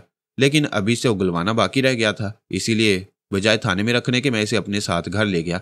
यहाँ मैंने इसे दाढ़ी बनाने का सामान दिया, पहनने के लिए कपड़े दिए और जब ये दाढ़ी बनाकर नहा धोकर गोसल खाने से बाहर निकला तो पूरा गुलाम गौस बन चुका था। इतना कहकर वो दांत निकाल कर हंस पड़ा। उसके हंसने के साथ ही हॉल में बैठे हुए लोग भी उसकी और जज की खुशनुदी हासिल करने के लिए हंसने लगे। लेकिन मेरा ये हाल हो गया था, जैसे जख्मों पर नमक छिड़का जा रहा हो। इतनी संगदिली, इतनी बेहसी और ऐसे बहुतान का मैंने तस्वुर भी नहीं किया था। ये कैसे लोग थे, कितने जालिम, कितने भयानक। इनकी रोगों में जो खून दौड़ रहा था, उसमें झूठ और दगाबाजी की आमेजिश थी। इस शख्स ने मोहब्बत के जज्बे को जाल बनाकर इस्तेमाल किया था। इस शख्स ने मुझे अपनी हमदर्दी और अपनाइत का झूठा चेहरा दिखाकर लूट लिया था। दुनिया में ऐसी मिसाल बहुत कम होगी, लेकिन यह मामला चूँकि मेरा था इसीलिए मेरे साथ तो हर अनहोनी रवा रखी गई थी, ताकि मैं खुद अपने चेहरे पर जी भर कर थूक सकूँ, अपने आप पर मुलामत कर सकूँ। जनाब आली, शेखर ने हंस लेने के बाद अपना बयान शुरू कर दिया। मैंने इसे खाना खिलाया, चाय और सिगरेट पिलाई, और जब यह पूरी तरह पुरसकून हो गया तो मैंने कुरीद कुरीद कर इसके वाकयात पूछने शुरू कर दिए। इसने तो जो कहानी सुनाई उस पर यकीन तो नहीं किया जा सकता, लेकिन काम की बात यह मालूम हो गई कि ये अलिजबत जैसी मोजज खातून को अपने साथ वर्गलाकर यह अपने सिफली अमल के ज़ोर से बम्बई के बाहर ले गया। इसके अलावा इसने यह भी करार कर लिया कि इसका ताल्लुक बहुमल और इसके गिरोह से रहा है और इसने लोगों के साथ मिलकर हमारी सरकार को नुकसान पहुँचाने की कोशिश की है। खुद इसी का बयान है कि इसने कानून की निगाहों से खुद को महफूज रखने के लिए अपना एक पैर कटवा दिया है। खुदा की कसम यह झूठ है झूठ है। मैंने जुनूनी कैफियत में अपना सर कटहरे से मारना शुरू कर दिया। मुझ पर पागलपन सवार हो गया था। अगर शेखर मेरे करीब होता तो मैं यकीनन उसकी धज्जियाँ बिखेर देता। मेरे खुदा, इसने मेरे लिए क्या कुछ कह दिया था? मुझे अपनी समात भी खुद पर ग्रां गुजरने लगी। काश मैं बहरा होता ताकि ये सब सुन नहीं पाता। काश में अंधा होता ताकि इनके मकरू चेहरे मेरी निगाहों से ओझल रहते। काश। पुलिस वालों ने इस बार भी मुझे संभाल लिया। इस बार उन्होंने बहुत देर तक मेरे शानों को अपनी गिरफ्त में रखा, ताकि मैं जुनूनी होकर मजीद हरकतें न करने लगूं। मुझे बहुत देर के बाद सुकून आया। और वह सुकून इसलिए आया कि मैंने सारी गुजरान को नौश्ता तकदीर समझ लिया था। इसके अलावा खुद को धोखा देने का और क्या जवाब हो सकता था? कोई और मौका होता तो मेरी इस इजतराबी कैफियत को देखकर खुद अलिजबत भी बेकरार हो उठती। लेकिन उसके होंठों पर एक जहर भरी मुस्कुराहट दौड़ रही थी और वह उस अंग्रेज़ से हंस हंस कर बातें कर रही थी, जिसे मैंने उसके कमरे में देखा था। बयान जारी रखा जाए। जज ने शेखर को हदायत की और शेखर ने अपनी कहानी फिर शुरू कर दी। मुझे इस शख्स के बयान से इसके मुजरिम होने की तस्दीक तो हो गई लेकिन इसने जिस अंदाज और जिस यकीन के साथ मोजिज अलिस्बत खातून का नाम लिया था तो वो सुनकर मुझे धड़का भी पैदा हो गया। हो सकता है कि ये सच कह रहा हो, और वह खातून अपनी मर्ज़ी से इसके साथ गई हो। माफ़ कीजिए, ये मैं कानूनी बात बता रहा हूँ। उस खातून पर कोई इल्ज़ाम नहीं लगा रहा। तो इस बात की तस्दीक के लिए मैं दूसरी सुबह इस शख्स को खातून अलिजबत के कमरे में ले गया, जहाँ मिस्टर रोनाल्ड भी मौजूद थे, और उनकी मौजूदगी में इस शख्स ने अलिजबत पर फिर अपना अमल करने की कोशिश की, लेकिन इस बार यह नाकाम रहा। और मोजिज खातून ने चीख चीख कर इस शख्स से अपनी नफरत और गुस्से का इजहार कर दिया। यही नहीं, बल्कि वह इस शख्स को देखकर दहशत से बेहोश भी हो गई थी। इस मौका पर अगर अदालत चाहे तो मैं गवाही के लिए उस डॉक्टर को भी पेश कर सकता हूँ, जिसने मोजिज खातून का मुआयना किया था और मिस्टर रोनाल्ड को भी बुलाया जा सकता है जो वहाँ मौजूद थे। वो लोग बता सकते हैं कि इस शख्स को देखकर उनकी क्या हालत हो गई थी। बहरहाल, मेरे लिए इतना ही इशारा बहुत था। मैंने इस धोखेबाज और खतरनाक शख्स को गिरफ़्तार करके थाने में बंद कर दिया। जहाँ ये दो दिनों तक बेहोश भी रहा, हो सकता है कि इसकी बेहोशी इसलिए हो कि ये दोबारा जादू करने में नाकाम रहा था। इसका जादू नाकाम क्यों हुआ? मैं इसकी वजाहत नहीं कर सकता। लेकिन मैंने अदालत में ऐसे कुछ लोग बुला लिए हैं जो सिफली अमल के माहिर हैं, और वो अदालत को ये बता सकते हैं कि किन हालात में किसी शख्स से उसके जादू की खसूसियत छीन ली जाती है और ऐसा शख्स क्या कर सकता है? अदालत ने शेखर के कहने पर मोज़ जादूगरों को तलब नहीं किया, बल्कि मुकदमा की समात दूसरे दिन तक के लिए मुलतवी कर दी गई। शायद अदालत भी इस दिलचस्प मुकदमे को तूल देना चाहती थी, ताकि मोज़ अरकान जूरी के लिए तफरी का ज़्यादा से ज़्यादा सामान मुहैया हो सके। मुझे उस कमरे से उठाकर फिर थाने की कोठरी में पहुँचा दिया गया, जिस तरह एक बेजान फर्नीचर को जहाँ चाहे उठाकर रख दिया जाए। उन्हें यह नहीं मालूम था कि दुनिया की बड़ी से बड़ी सज़ा अलिजबत के बदल जाने के बाद मेरे लिए बच्चों का खेल बनकर रह गई है। थाने में वो रात मैंने बड़ी बेकुली में गुजारी, अजीब आलम था। कभी यह सब ख्वाब महसूस होता और कभी अपने आप को झुटलाने लगता। शेखर ने मेरे खिलाफ जो जहर उगला था, वो भी मेरी ज़िंदगी के लिए। एक नाकाबले फरामोश तजुर्बे की हैसियत रखता था। खुदाए से भयानक और तल्ख तजुर्बे से किसी को रूशनास न करे। मैंने उस रात के बाद करमदीन को नहीं देखा। लगता था उसकी ड्यूटी कहीं और लगा दी गई है, लेकिन वह बेचारा भी मेरे लिए क्या कर सकता था? दूसरी सुबह सोकर उठा ही था कि एक कांस्टेबल ने आकर बताया कि कोई औरत मुझसे मिलना चाहती है। किसी औरत के आने की खबर ने मुझे हैरान कर दिया। कौन थी जो इस अजाब के आलम में मुझसे मिलने आ गई थी? अलिजबत के आने का तो सवाल ही पैदा नहीं होता था। अगर उसे मेरी तरफ़ से शऊर आ भी जाता, तब भी उसे मेरे पास आने की इजाज़त तो नहीं दी जा सकती थी। मेरा दिल चाहा कि मैं मना कर दूँ, उस औरत से मिलने से इनकार कर दूँ, जो शायद मेरे जख्मों पर नमक छिड़कने के लिए आई थी।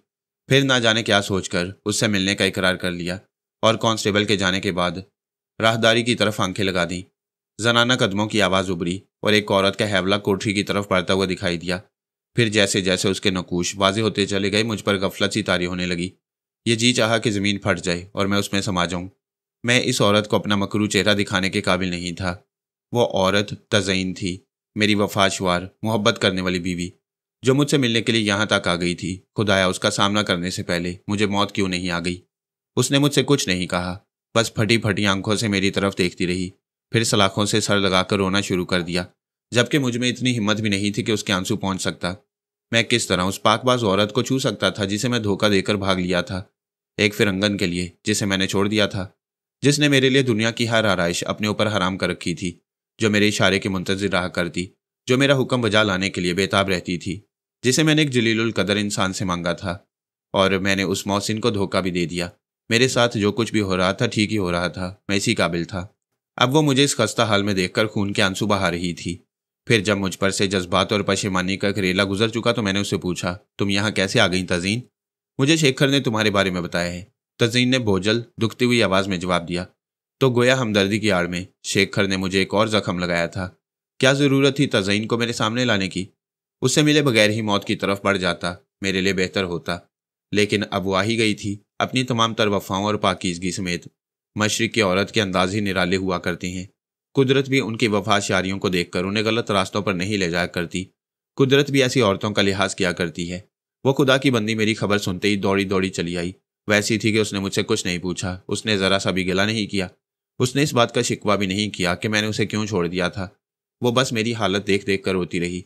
सब्र जब्त की उस पुतली ने यह भी नहीं बताया कि मेरे बगैर उस पर क्या गुजरी। उसने अपने दिन किस करम में गुजारे, रातें किस बेकरारी के आलम में बसर की।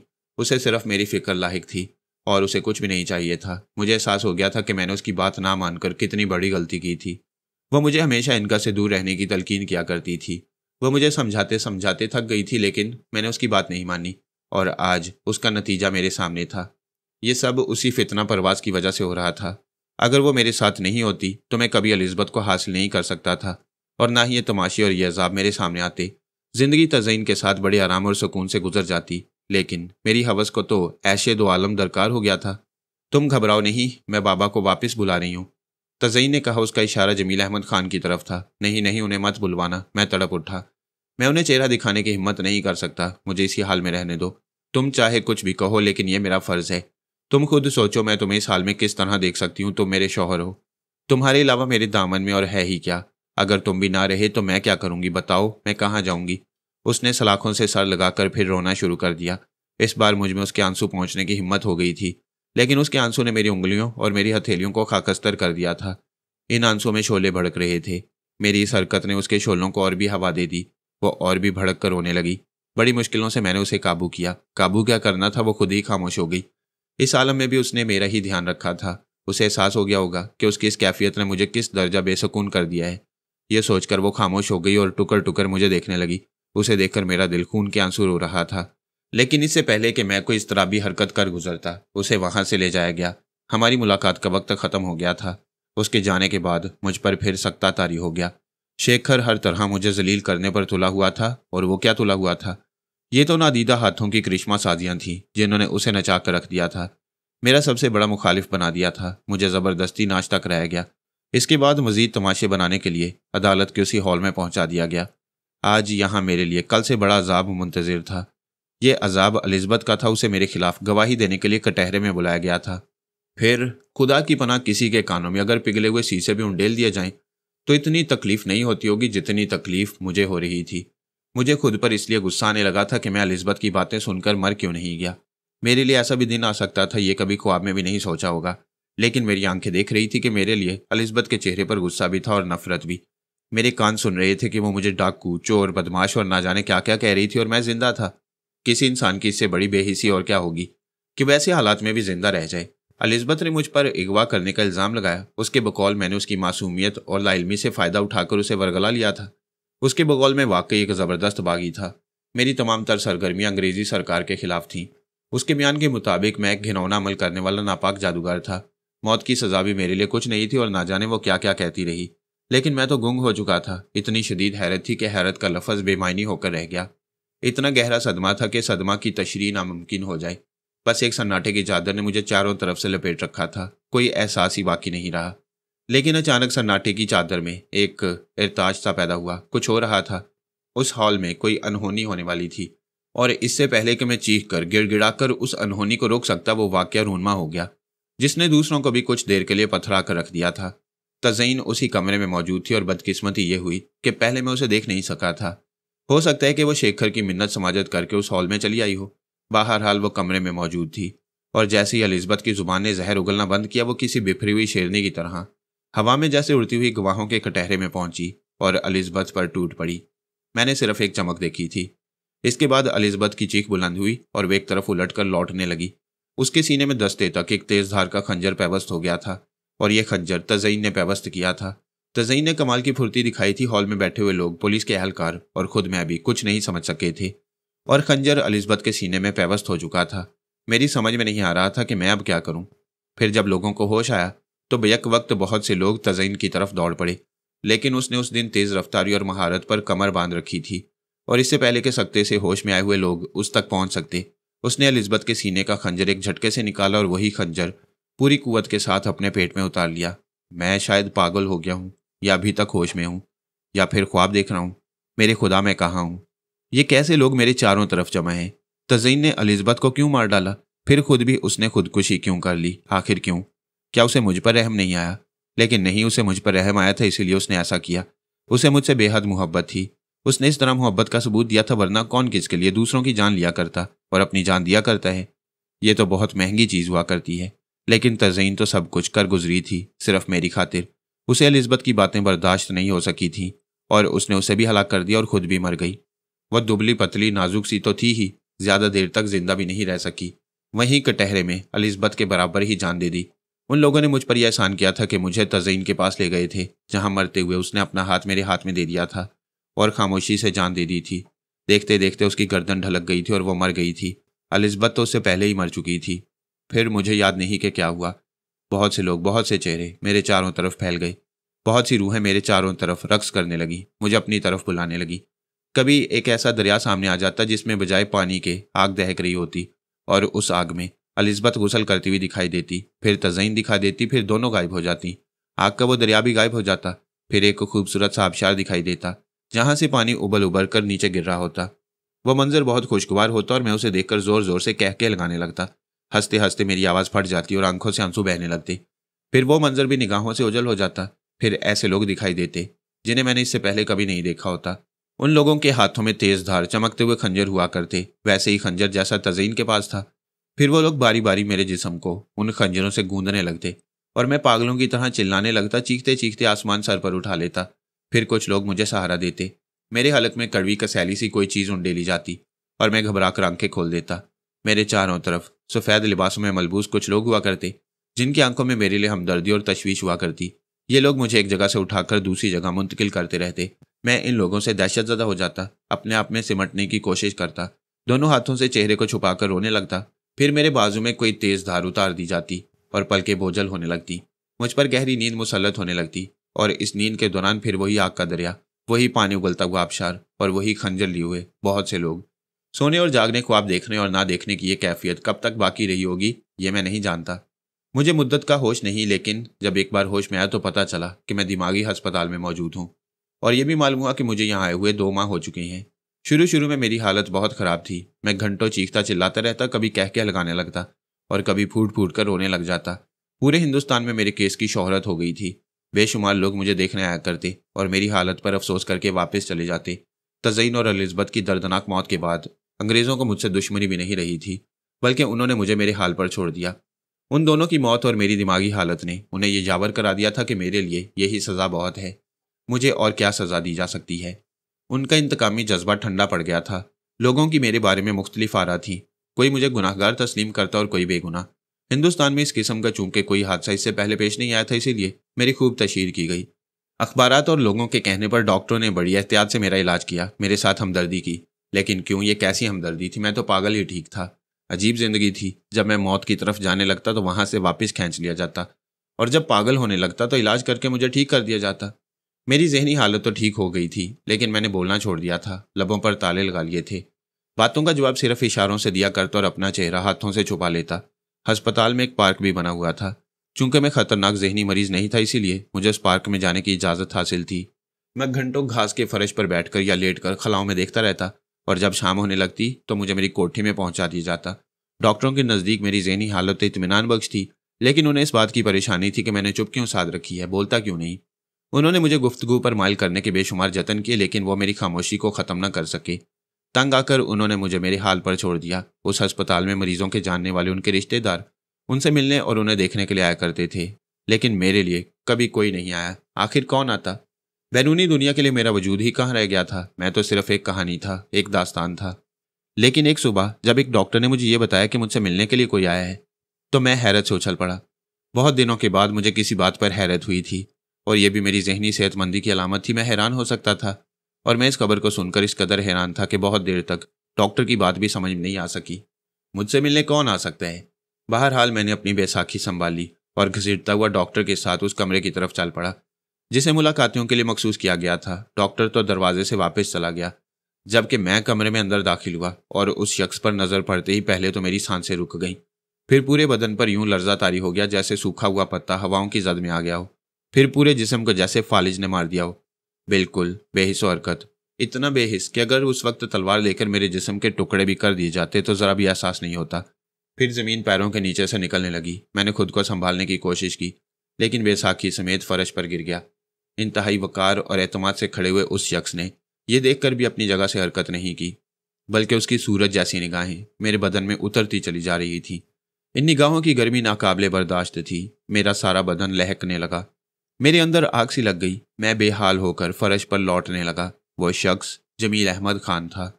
कद्यावर अजीम, हैरत अंगेज, बेमिसाल, बेबदल जमील अहमद खान वही जिसने अपने जिसम को पत्थर कर लिया था।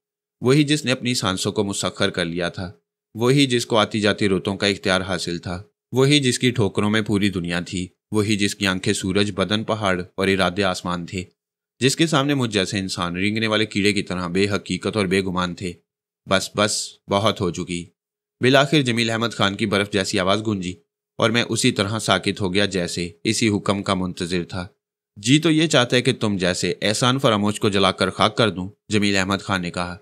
लेकिन तुझे कुदरत की तरफ़ से पहले ही सज़ा मिल चुकी है। और तेरे लिए मजीद अजाब यह है कि तू दुनिया और आखिरत में जलीलो खुआर रहेगा। तूने जो कुछ किया है, उनकी फहरिस्त तो खुद तेरी निगाहों के सामने होगी। मैं तेरे करतूतों को दोहराना नहीं चाहता, और मैं यहाँ तुझे देखने के लिए नहीं आया, बल्कि तुझे कुछ दिखाने के लिए आया हूँ। तूने अपनी ज़िंदगी बहुत ही बेढंगे तौर से समेटी है। तजीन मेरी बेटी थी, और मेरी बेटी के ऐसे अंजाम पर बाप की आँखें खून हो जाया करती हैं। अगर तू वफाशवार होता तो तजीन की मौत का मुझे ज़रा भी अफसोस नहीं होता। लेकिन तू तो एक ऐसा कुत्ता निकला जो नज़र आने वाली हर हड्डी के पीछे दौड़ा करता है। मैं खुद भी अपने आप को ज़िंदगी भर इसलिए मुआफ़ नहीं करूँगा कि मैं तुझे तजीन के साथ छोड़कर खुद यहाँ से चला गया था। और दूसरी गलती ये हुई कि मैं तेरी रजालतों की तरफ़ से बेखबर रहा। तूने इनका जैसी हकीर शय को हासिल करने के बाद यह समझ लिया कि दुनिया तेरे कदमों के नीचे बिछ चुकी है और तू फातह आलम है, जो चाहे कर सकता है लेकिन याद रख कि एक ताकत सबसे बड़ी हुआ करती है। और मैं उसी ताकत के वसीले से यह कह रहा हूँ कि तेरी ज़िंदगी मुसलसल अजाब रहेगी। इनका मेरे पास भी थी, लेकिन मैंने बाद में अपने ज़रफ़ को वसी करके उसे अपनी कनीज़ बना लिया था। लेकिन तुझसे तो यह भी नहीं हो सका, कम ज़रफ़ के इख्तियार में ताकत आ जाए तो वह अंधा होकर आहनी दीवारों से भी सर टकराने लगता है। आ, मैं तुझे तेरी नाम निहाद ताकतों का इंजाम दिखाता हूँ, इसे देख और ज़िंदगी भर रोता रहे। मैं कुछ बोलना चाहता था, लेकिन मेरी ज़ुबान मेरा साथ नहीं दे रही थी। मैंने आगे घसीटते हुए जमील अहमद खान के कदमों पर अपना सर रखना चाहा, लेकिन मुझसे यह भी नहीं हो सका। मैं एक इंच आगे की तरफ़ खिसकता और मेरा और उनका फासला हज़ारों मील का हो जाता। थक हार कर मैंने अपना सर फर्श पर रख दिया और धीरे धीरे सिसकने लगा। लेकिन उसी वक्त वह फर्श इस तरह उबलने लगा जैसे लावा पकड़ा हो। मैंने बुखलाकर आँखें खोल दी। उस कमरे के दरों दीवार धुआँ हो रहे थे। हर तरफ़ धुंध और कोहर फैली हुई थी। और जमील अहमद खान का कोई पता नहीं था, जबकि मैं कहीं और पहुँच चुका था। ये ज़मीन अजब तलिस्मी और मावराई सी थी। यहाँ के दरख्त और पौधे भी अजीब थे। वह पलकें झपकते और गुनगुनाते हुए महसूस होते। रोशनी भी ऐसी जैसे सहर हो रही हो। बादलों के छोटे छोटे टुकड़े हर तरफ़ ही मंडलाते फिर रहे थे। एक तरफ़ एक दरिया भी बह रहा था, लेकिन उसका पानी भी अजीब था। सुनहरे रंग का मौजें लेता हुआ पानी। दरिया की सतह पर छोटे छोटे बजरे तैर रहे थे, लेकिन उनमें कोई दिखाई नहीं देता था। दूर नज़र की हद पर पहाड़ों का एक सिलसिला भी था, लेकिन उस पहाड़ी के पत्थर, हीरे, जवाहरात और सोने चांदी से मुजयन दिखाई देते थे। रोशनी जब उस पहाड़ी की सतह से टकराती तो निगाहों को खीरा कर देने वाली धनक चारों तरफ़ फैल जाती और उस धनक के साथ रंग टूट टूट कर गिरने लगते। ना जाने यह सिलसिला कब से जारी था और कब तक जारी रहने वाला था। मैं इस तरह से बेहाल होकर चीख रहा था, करवटें ले रहा था। अपना सर फ़र्ज़ से टकरा रहा था, लेकिन जमील अहमद खान की हालत में कोई भी तब्दीली नहीं आई। उन्होंने अपनी निगाहें इस तरह मेरे जिसम पर गाड़ रखी थी, जैसे, मुझे रेजा रेजा करके फिजा में बखेर देना चाहती हूँ। मुझे यकीन था कि मेरी चीखों पुकार ने पूरा अस्पताल सर पर उठा लिया होगा। लेकिन किसी की क्या मजाल थी जो उस कमरे में झांकने की भी हिम्मत कर सकता? जहाँ जमील अहमद खान खड़े हों, वहाँ दरो दीवार तक दूसरों की निगाहों से ओझल हो जाती हैं। मेरा ये हाल था कि मैं यहाँ आकर मबहूत हो गया था। कभी मुझे बेनतहा खौफ महसूस होता और कभी अजब सरशारी और शादमानी की कैफियत महसूस होने लगती।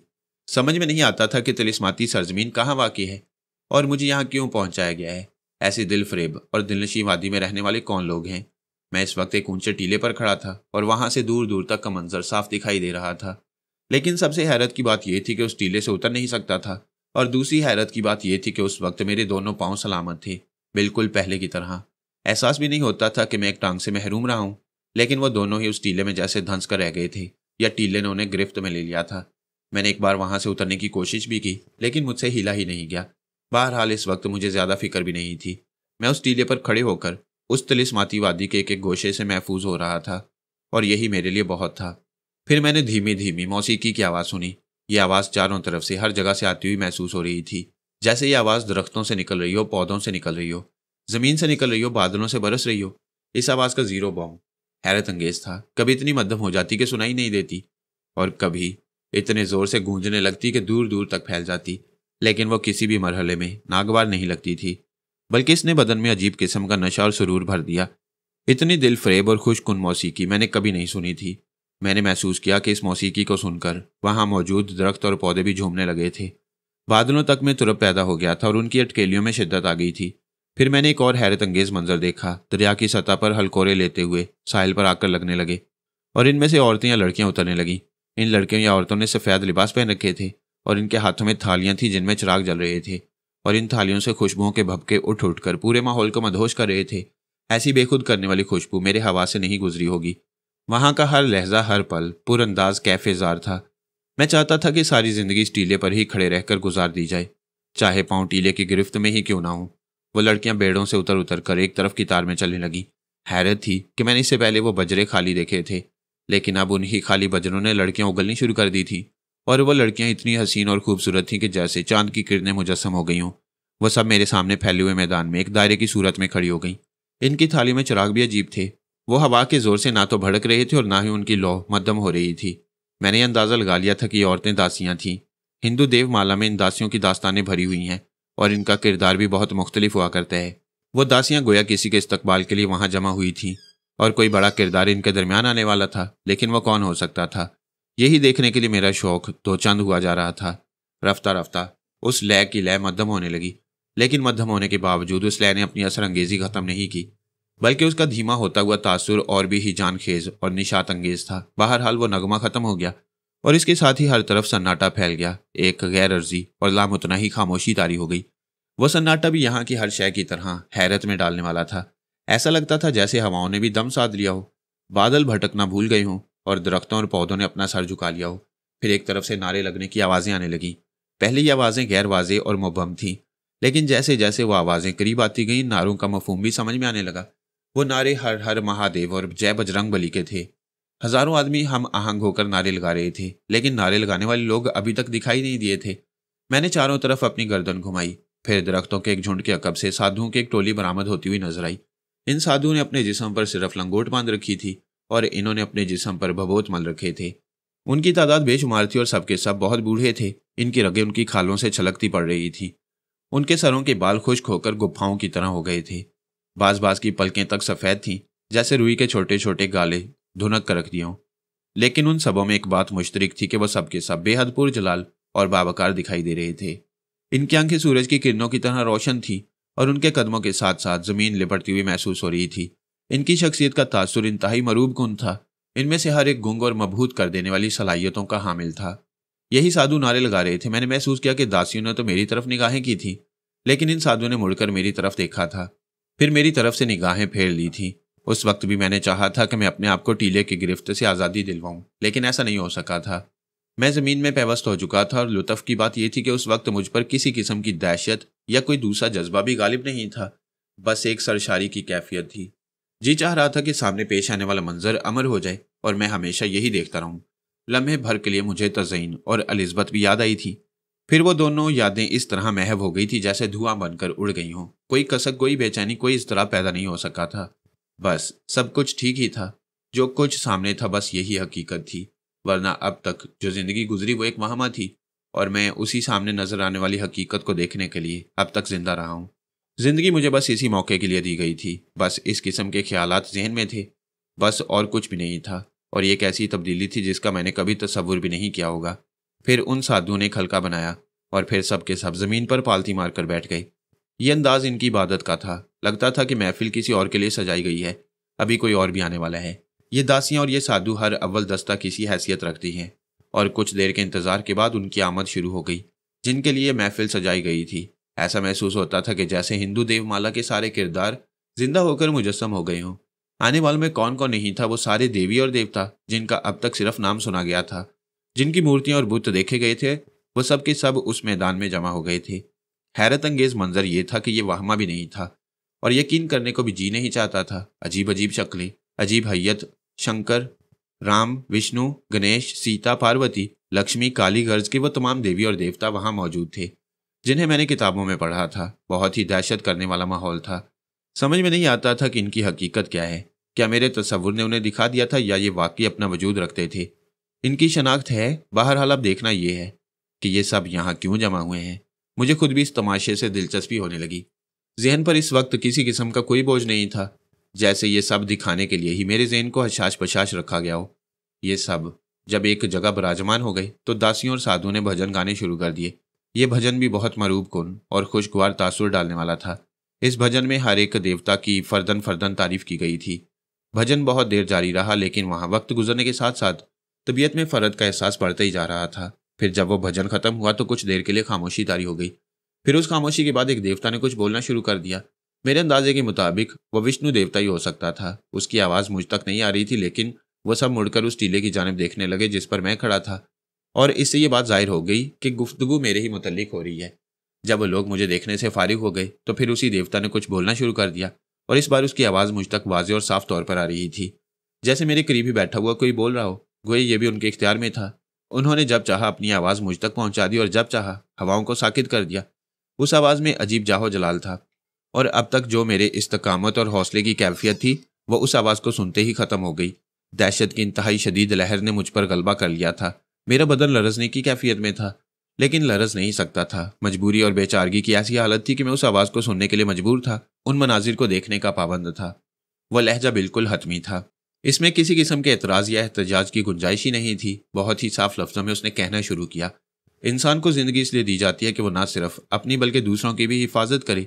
ये ज़िंदगी कुदरत की अता करदा होती है और किसी को हक नहीं पहुँचता कि वह या तो दूसरों को उसकी ज़िंदगी से महरूम करे या खुद अपनी ज़िंदगी ले। इसके अलावा ये आँखें अच्छा या बुरा देखने के लिए दी गई हैं। ये ज़ुबान अच्छा या बुरा बोलने के लिए बनाई गई है और ये कान अच्छा या बुरा सुनने को बख्शे गई हैं। साथ ही उसे जहन भी दिया गया है ताकि वो अच्छाइयों और बुराइयों में तमीज़ कर सके। बुरे मनाजिर को अपनी आँखों से ओझल रखे, बुरी बातों के लिए ज़ुबान को गूँगा कर दे और बुरा सुनने वाले कानों को बंद कर दे, लेकिन ये मूर्ख इंसान अच्छाइयाँ समेट कर बुराइयाँ भी समेट लेता है और उस पर खुश भी होता है। इसे ज़रा सी ताकत और इकतदार हासिल हो जाए तो वह अपने पैरों को ज़मीन पर नहीं लगने देता। दूसरों को खुशियों से महरूम कर देता है और खुद ज़माना भर की खुशियाँ हासिल करने की जिद्दोजहद करने लगता है। इंसानों को बुराइयों से दूर रखने और अच्छाइयाँ समेटने के लिए इंसानों के दरमियान बहुत से ऋषि मुनि और औलिया भेजे गए। वहीं बुराई की कुतें भी भेजी गईं, सिर्फ़ इसलिए कि इंसान दोनों का मुआवजा करे और अपनी अच्छाइयों को सीने से लगा ले। बुराइयों की उन अलामतों को ताकत भी दी गई ताकि उन्हें कुदरत की तरफ़ से नाइंसाफ़ी का शिकवा न रहे। लेकिन जब बुराई की यह ताकतें हद से गुजरने लगती हैं तो उन्हें खाक कर दिया जाता है। इन पर हमेशा हमेशा की मौत मुसलत कर दी जाती है व फना कर दी जाती हैं, ताकि नस्ल इंसानी इनकी आइंदा की शरारतों से महफूज रह सके। कुदरत ने बुराई की ऐसी एक मजहर इनका को तख्लीक किया। बुराई की इस मजहर ने अपने इख्तियार और अपनी ताकत का इस्तेमाल कुछ ज़्यादा ही शुरू कर दिया। उसने हज़ारों ख़ानदानों को तबाह बर्बाद कर दिया। वो हज़ारों इंसानों की कातिल बन गई। उसने हमारे पुजारियों को भी आपस में लड़ा दिया। उसके कब्जे में आए हुए लोग अच्छाइयों की तरफ़ से गाफिल होते चले गए। वो इंसानी खून पीकर अपनी प्यास बुझाया करती है। गर्ज ये कि इसके खिलाफ इल्ज़ाम की फहरिस्त बहुत तवील है और हमने ये फैसला कर लिया है कि अब बुराइयों के मजर को हमेशा हमेशा के लिए ख़त्म कर दिया जाए। वो आवाज़ खामोश हो गई और इसके साथ सारी दुनिया खामोश हो गई। इनका का नाम सुनकर मेरा दिल ज़ोर ज़ोर से धड़कने लगा था। ऐसा महसूस हुआ जैसे अब कोई क्यामत आने वाली है और वो क्यामत मेरे ही लिए आएगी। ये सब कुछ मेरे ही लिए हो रहा है। मैं ही बराह रास्त देवताओं के कहर को आवाज़ देने के जुर्म का मुर्तकब हुआ हूँ। और इनका के साथ साथ मुझे भी फना कर दिया जाएगा। चलो, ये भी अच्छा ही होगा।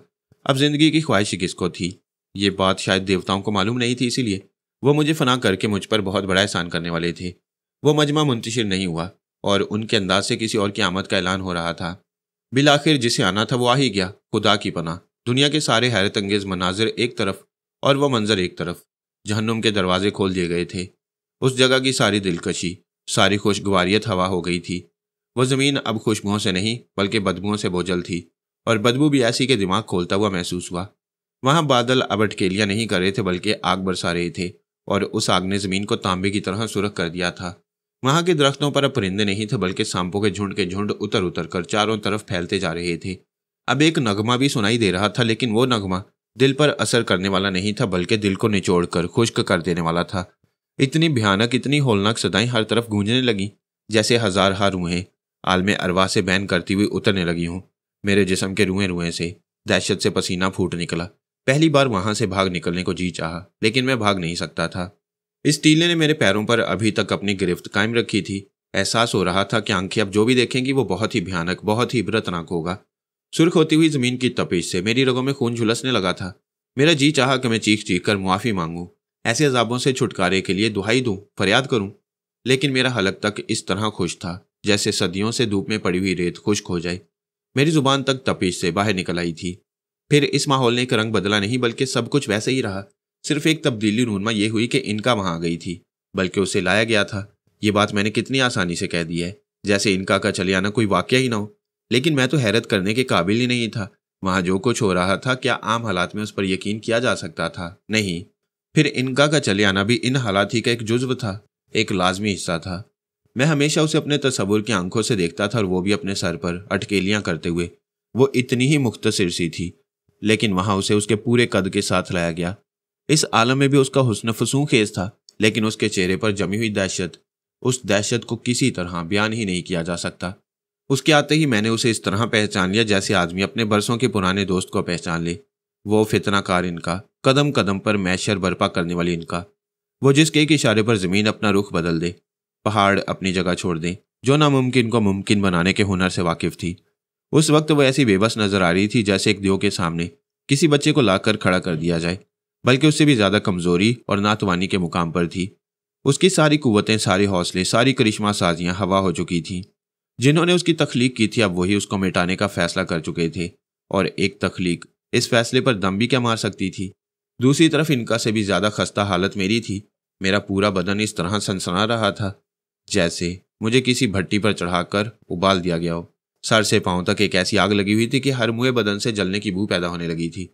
ऐसा लग रहा था जैसे खुद मेरा अपना दिमाग मेरी अपनी ही बदबू से लावे की तरह बह जाएगा। ना जाने यक बजक, ये ऐसी बदबू मेरे बदन का हिस्सा क्यों बन गई थी? असरारों की सरजमीन में यह एक नया असरार था। मुझे मुखातिब करने वाली आवाज़ फिर खामोश हो गई, या फिर उसकी आवाज़ मुझे सुनाई नहीं दे रही थी। हाँ यही हो सकता था। क्योंकि मैंने धुंध और कोहर के उस पार से बोलने वाले के होंटों को हिलते हुए महसूस किया था, और हर जुम्बिश पर फुंकारते हुए सांप इनका के बदन से लिपट जाते, और वह मुर्गे बिस्मिल की तरह तड़पने लगती। ना जाने सजा का यह अमल इतनी देर तक क्यों जारी रखा गया था, वह तो उसे एक इशारे में खाकस्तर कर सकते थे। बिलाखिर उन्होंने उसे खाकस्तर कर ही दिया। बस एक तड़ाखा सा हुआ, और एक बिजली सी कौंदती हुई दिखाई दी, और इस अमल के साथ ही मैंने इनका की आवाज़ें भी सुननी शुरू कर दी। शायद ये आवाज़ें भी खास तौर पर मुझे सुनवाई जा रही थी। और मैंने इनका की आवाज़ों को उस तरह पहचान लिया था जिस तरह मैंने उसकी सूरत को पहचान लिया था। वो आवाज़ें इंतहाई भयानक थीं। एक बेपनाह ताकत की फना होती हुई दम तोड़ती हुई आवाज़ें। ऐसी दर्दनाक चीखें थी कि मैं आज भी उन चीखों को याद करके सर से पाँव तक लरस कर रह जाता हूँ। उस बिजली ने इनका को अपने हिसार में ले लिया था। फिर एक दूसरे से टकराने के साथ ही वो फना हो गई। उसका वजूद तक नहीं रहा। वो इस तरह गायब हो गई थी जैसे बुराई और बदी की मजहर को पैदा ही नहीं किया गया। उसके फना होने का अमल इंतहाई खतरनाक था। फिर गैज़ो गज़ब के उस माहौल में ठहराव और सुकून पैदा होना शुरू हो गया। धीरे धीरे वहाँ का इसतराब करार पाने लगा। धीरे धीरे जोशो गुस्से में भरी हुई हर शय अपने असल रूप में आने लगी। ऐसा जैसे ये सारा जोशो गुस्सा, ये बिफरा हुआ माहौल सिर्फ़ इनका को फना करने के लिए तख्लीक किया गया था। लेकिन अब अजीब बात यह हुई कि मेरे दोनों पाँव आज़ाद हो गए। टीले ने भी पैरों से अपनी गिरफ्त ख़त्म कर दी। अब मैं उस टीले से उतरकर किसी तरफ़ भी जा सकता था और मैं अपनी इस ख्वाहिश को दबा नहीं सका। मैं टीले से उतरकर उस तरफ़ चल पड़ा जहाँ दासियों, साधुओं और देवी देवताओं ने अपने डेरे डाल रखे थे। लेकिन मैं उस सिमत ज़्यादा दूर नहीं जा सका। वापस जाते हुए सांप मुझे देखकर मुड़े और इससे पहले कि मैं अपने बचाव के लिए दुहाई कर सकता फरियाद कर सकता, उन सांपों ने मुझे अपने घेरे में ले लिया। मैं सांपों के हिसार में घिरा हुआ था। मेरा पूरा बदन पसीना होकर बहने लगा था। हर तरफ़ फुंकारते हुए खौफनाक सांप फन उठाए खड़े हुए थे। वो ऐसे दहशत जदा करने वाले सांप थे जिन्हें मैंने कभी तस्वुर में भी नहीं देखा होगा। वह फुंकारते तो आग की ज़ुबान ने तड़पने लगती वो अपने जहर के छींटे उड़ाते तो राह में आने वाले पत्थर भी पानी बनकर बहने लगते। उन मोहलिक तरीन सांपों के सामने मेरी भी साथ ही क्या थी? इनकी दहशत ने मेरी ज़ुबान की बेहिसी खत्म कर दी और मैं चीखने लगा। मेरी चीख के साथ ही सांपों के एक दस्ते में हरकत हुई और मेरे करीब आकर उन्होंने फुंकारना शुरू कर दिया। उनकी हर फुंकार के साथ चींटे भी गिरने लगे और मैं बेहाल होने लगा। मेरे जिस्म पर आबले पड़ने लगे। मैं इस तरह ज़मीन पर गिरकर तड़पने लगा जैसे मुझे जिबा कर दिया गया हो। तड़पते तड़पते मुझे महसूस हुआ जैसे वो ज़मीन तंग होने लगी हो। पहाड़ियाँ दरख्त जंगल सब सिमटते चले आ रहे थे। फिर चारों तरफ़ दीवारें तामीर हो गई और मैं इन दीवारों के दरमियान घिर कर रह गया। फिर मेरा सर एक दीवार से टकराया और सारे मनाजिर नज़रों से ओझल हो गए। अब मैं दोबारा अस्पताल के उस कमरे में था जहाँ जमील अहमद खान ने मुझसे मुलाकात की थी। सब कुछ वही, लेकिन मुझे इस अजूबे पर हैरान होने की भी फुर्सत नहीं थी। मैं फर्श पर लौट रहा था और दोजक की आग मेरे अंदर दहकी हुई थी। मैं तड़पते तड़पते फिर बेहोश हो गया। और अब मैं कदमों में आए हुए पत्थर की तरह इधर उधर लुढ़कता फिरता हूँ। बम्बई के बहुत से लोग मुझे जान गए हैं। वो मेरे साथ हमदर्दी करते हैं अपनाइत का इजहार करती हैं। लेकिन उनकी हमदर्दी मेरे किसी काम नहीं आ सकती। मैं कभी हाजी अली की दरगाह पर नज़र आता हूँ और कभी किसी फुटपाथ पर बैठा हुआ अपने जख्मों को कुरीदता रहता हूँ।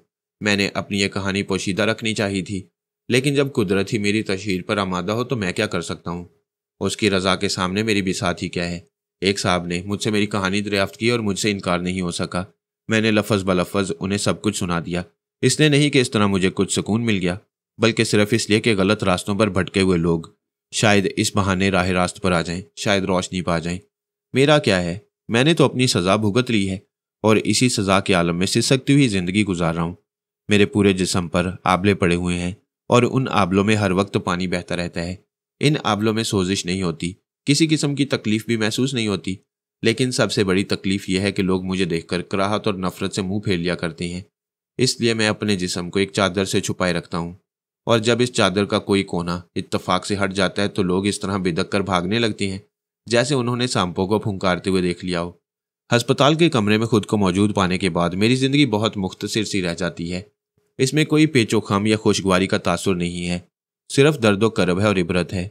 इबरत की दास्तान बहुत मुख्तसर सी हुआ करती है। इंसान उस दास्तान को तूल देकर बयान नहीं कर सकता। मैं जब चीखते चीखते उस कमरे में बेहोश हो गया तो लोगों ने मुझे उठा लिया। देखते देखते वहाँ बहुत से नर्स और डॉक्टर पहुँच गए। उनके नज़दीक ये बात हैरत की थी कि मेरे बदन पर ऐसे आबले नमूदार हो गए थे जो नाकाबले फहम थे। उन लोगों को उस कमरे में सिवाय मेरे और कोई दिखाई नहीं दिया।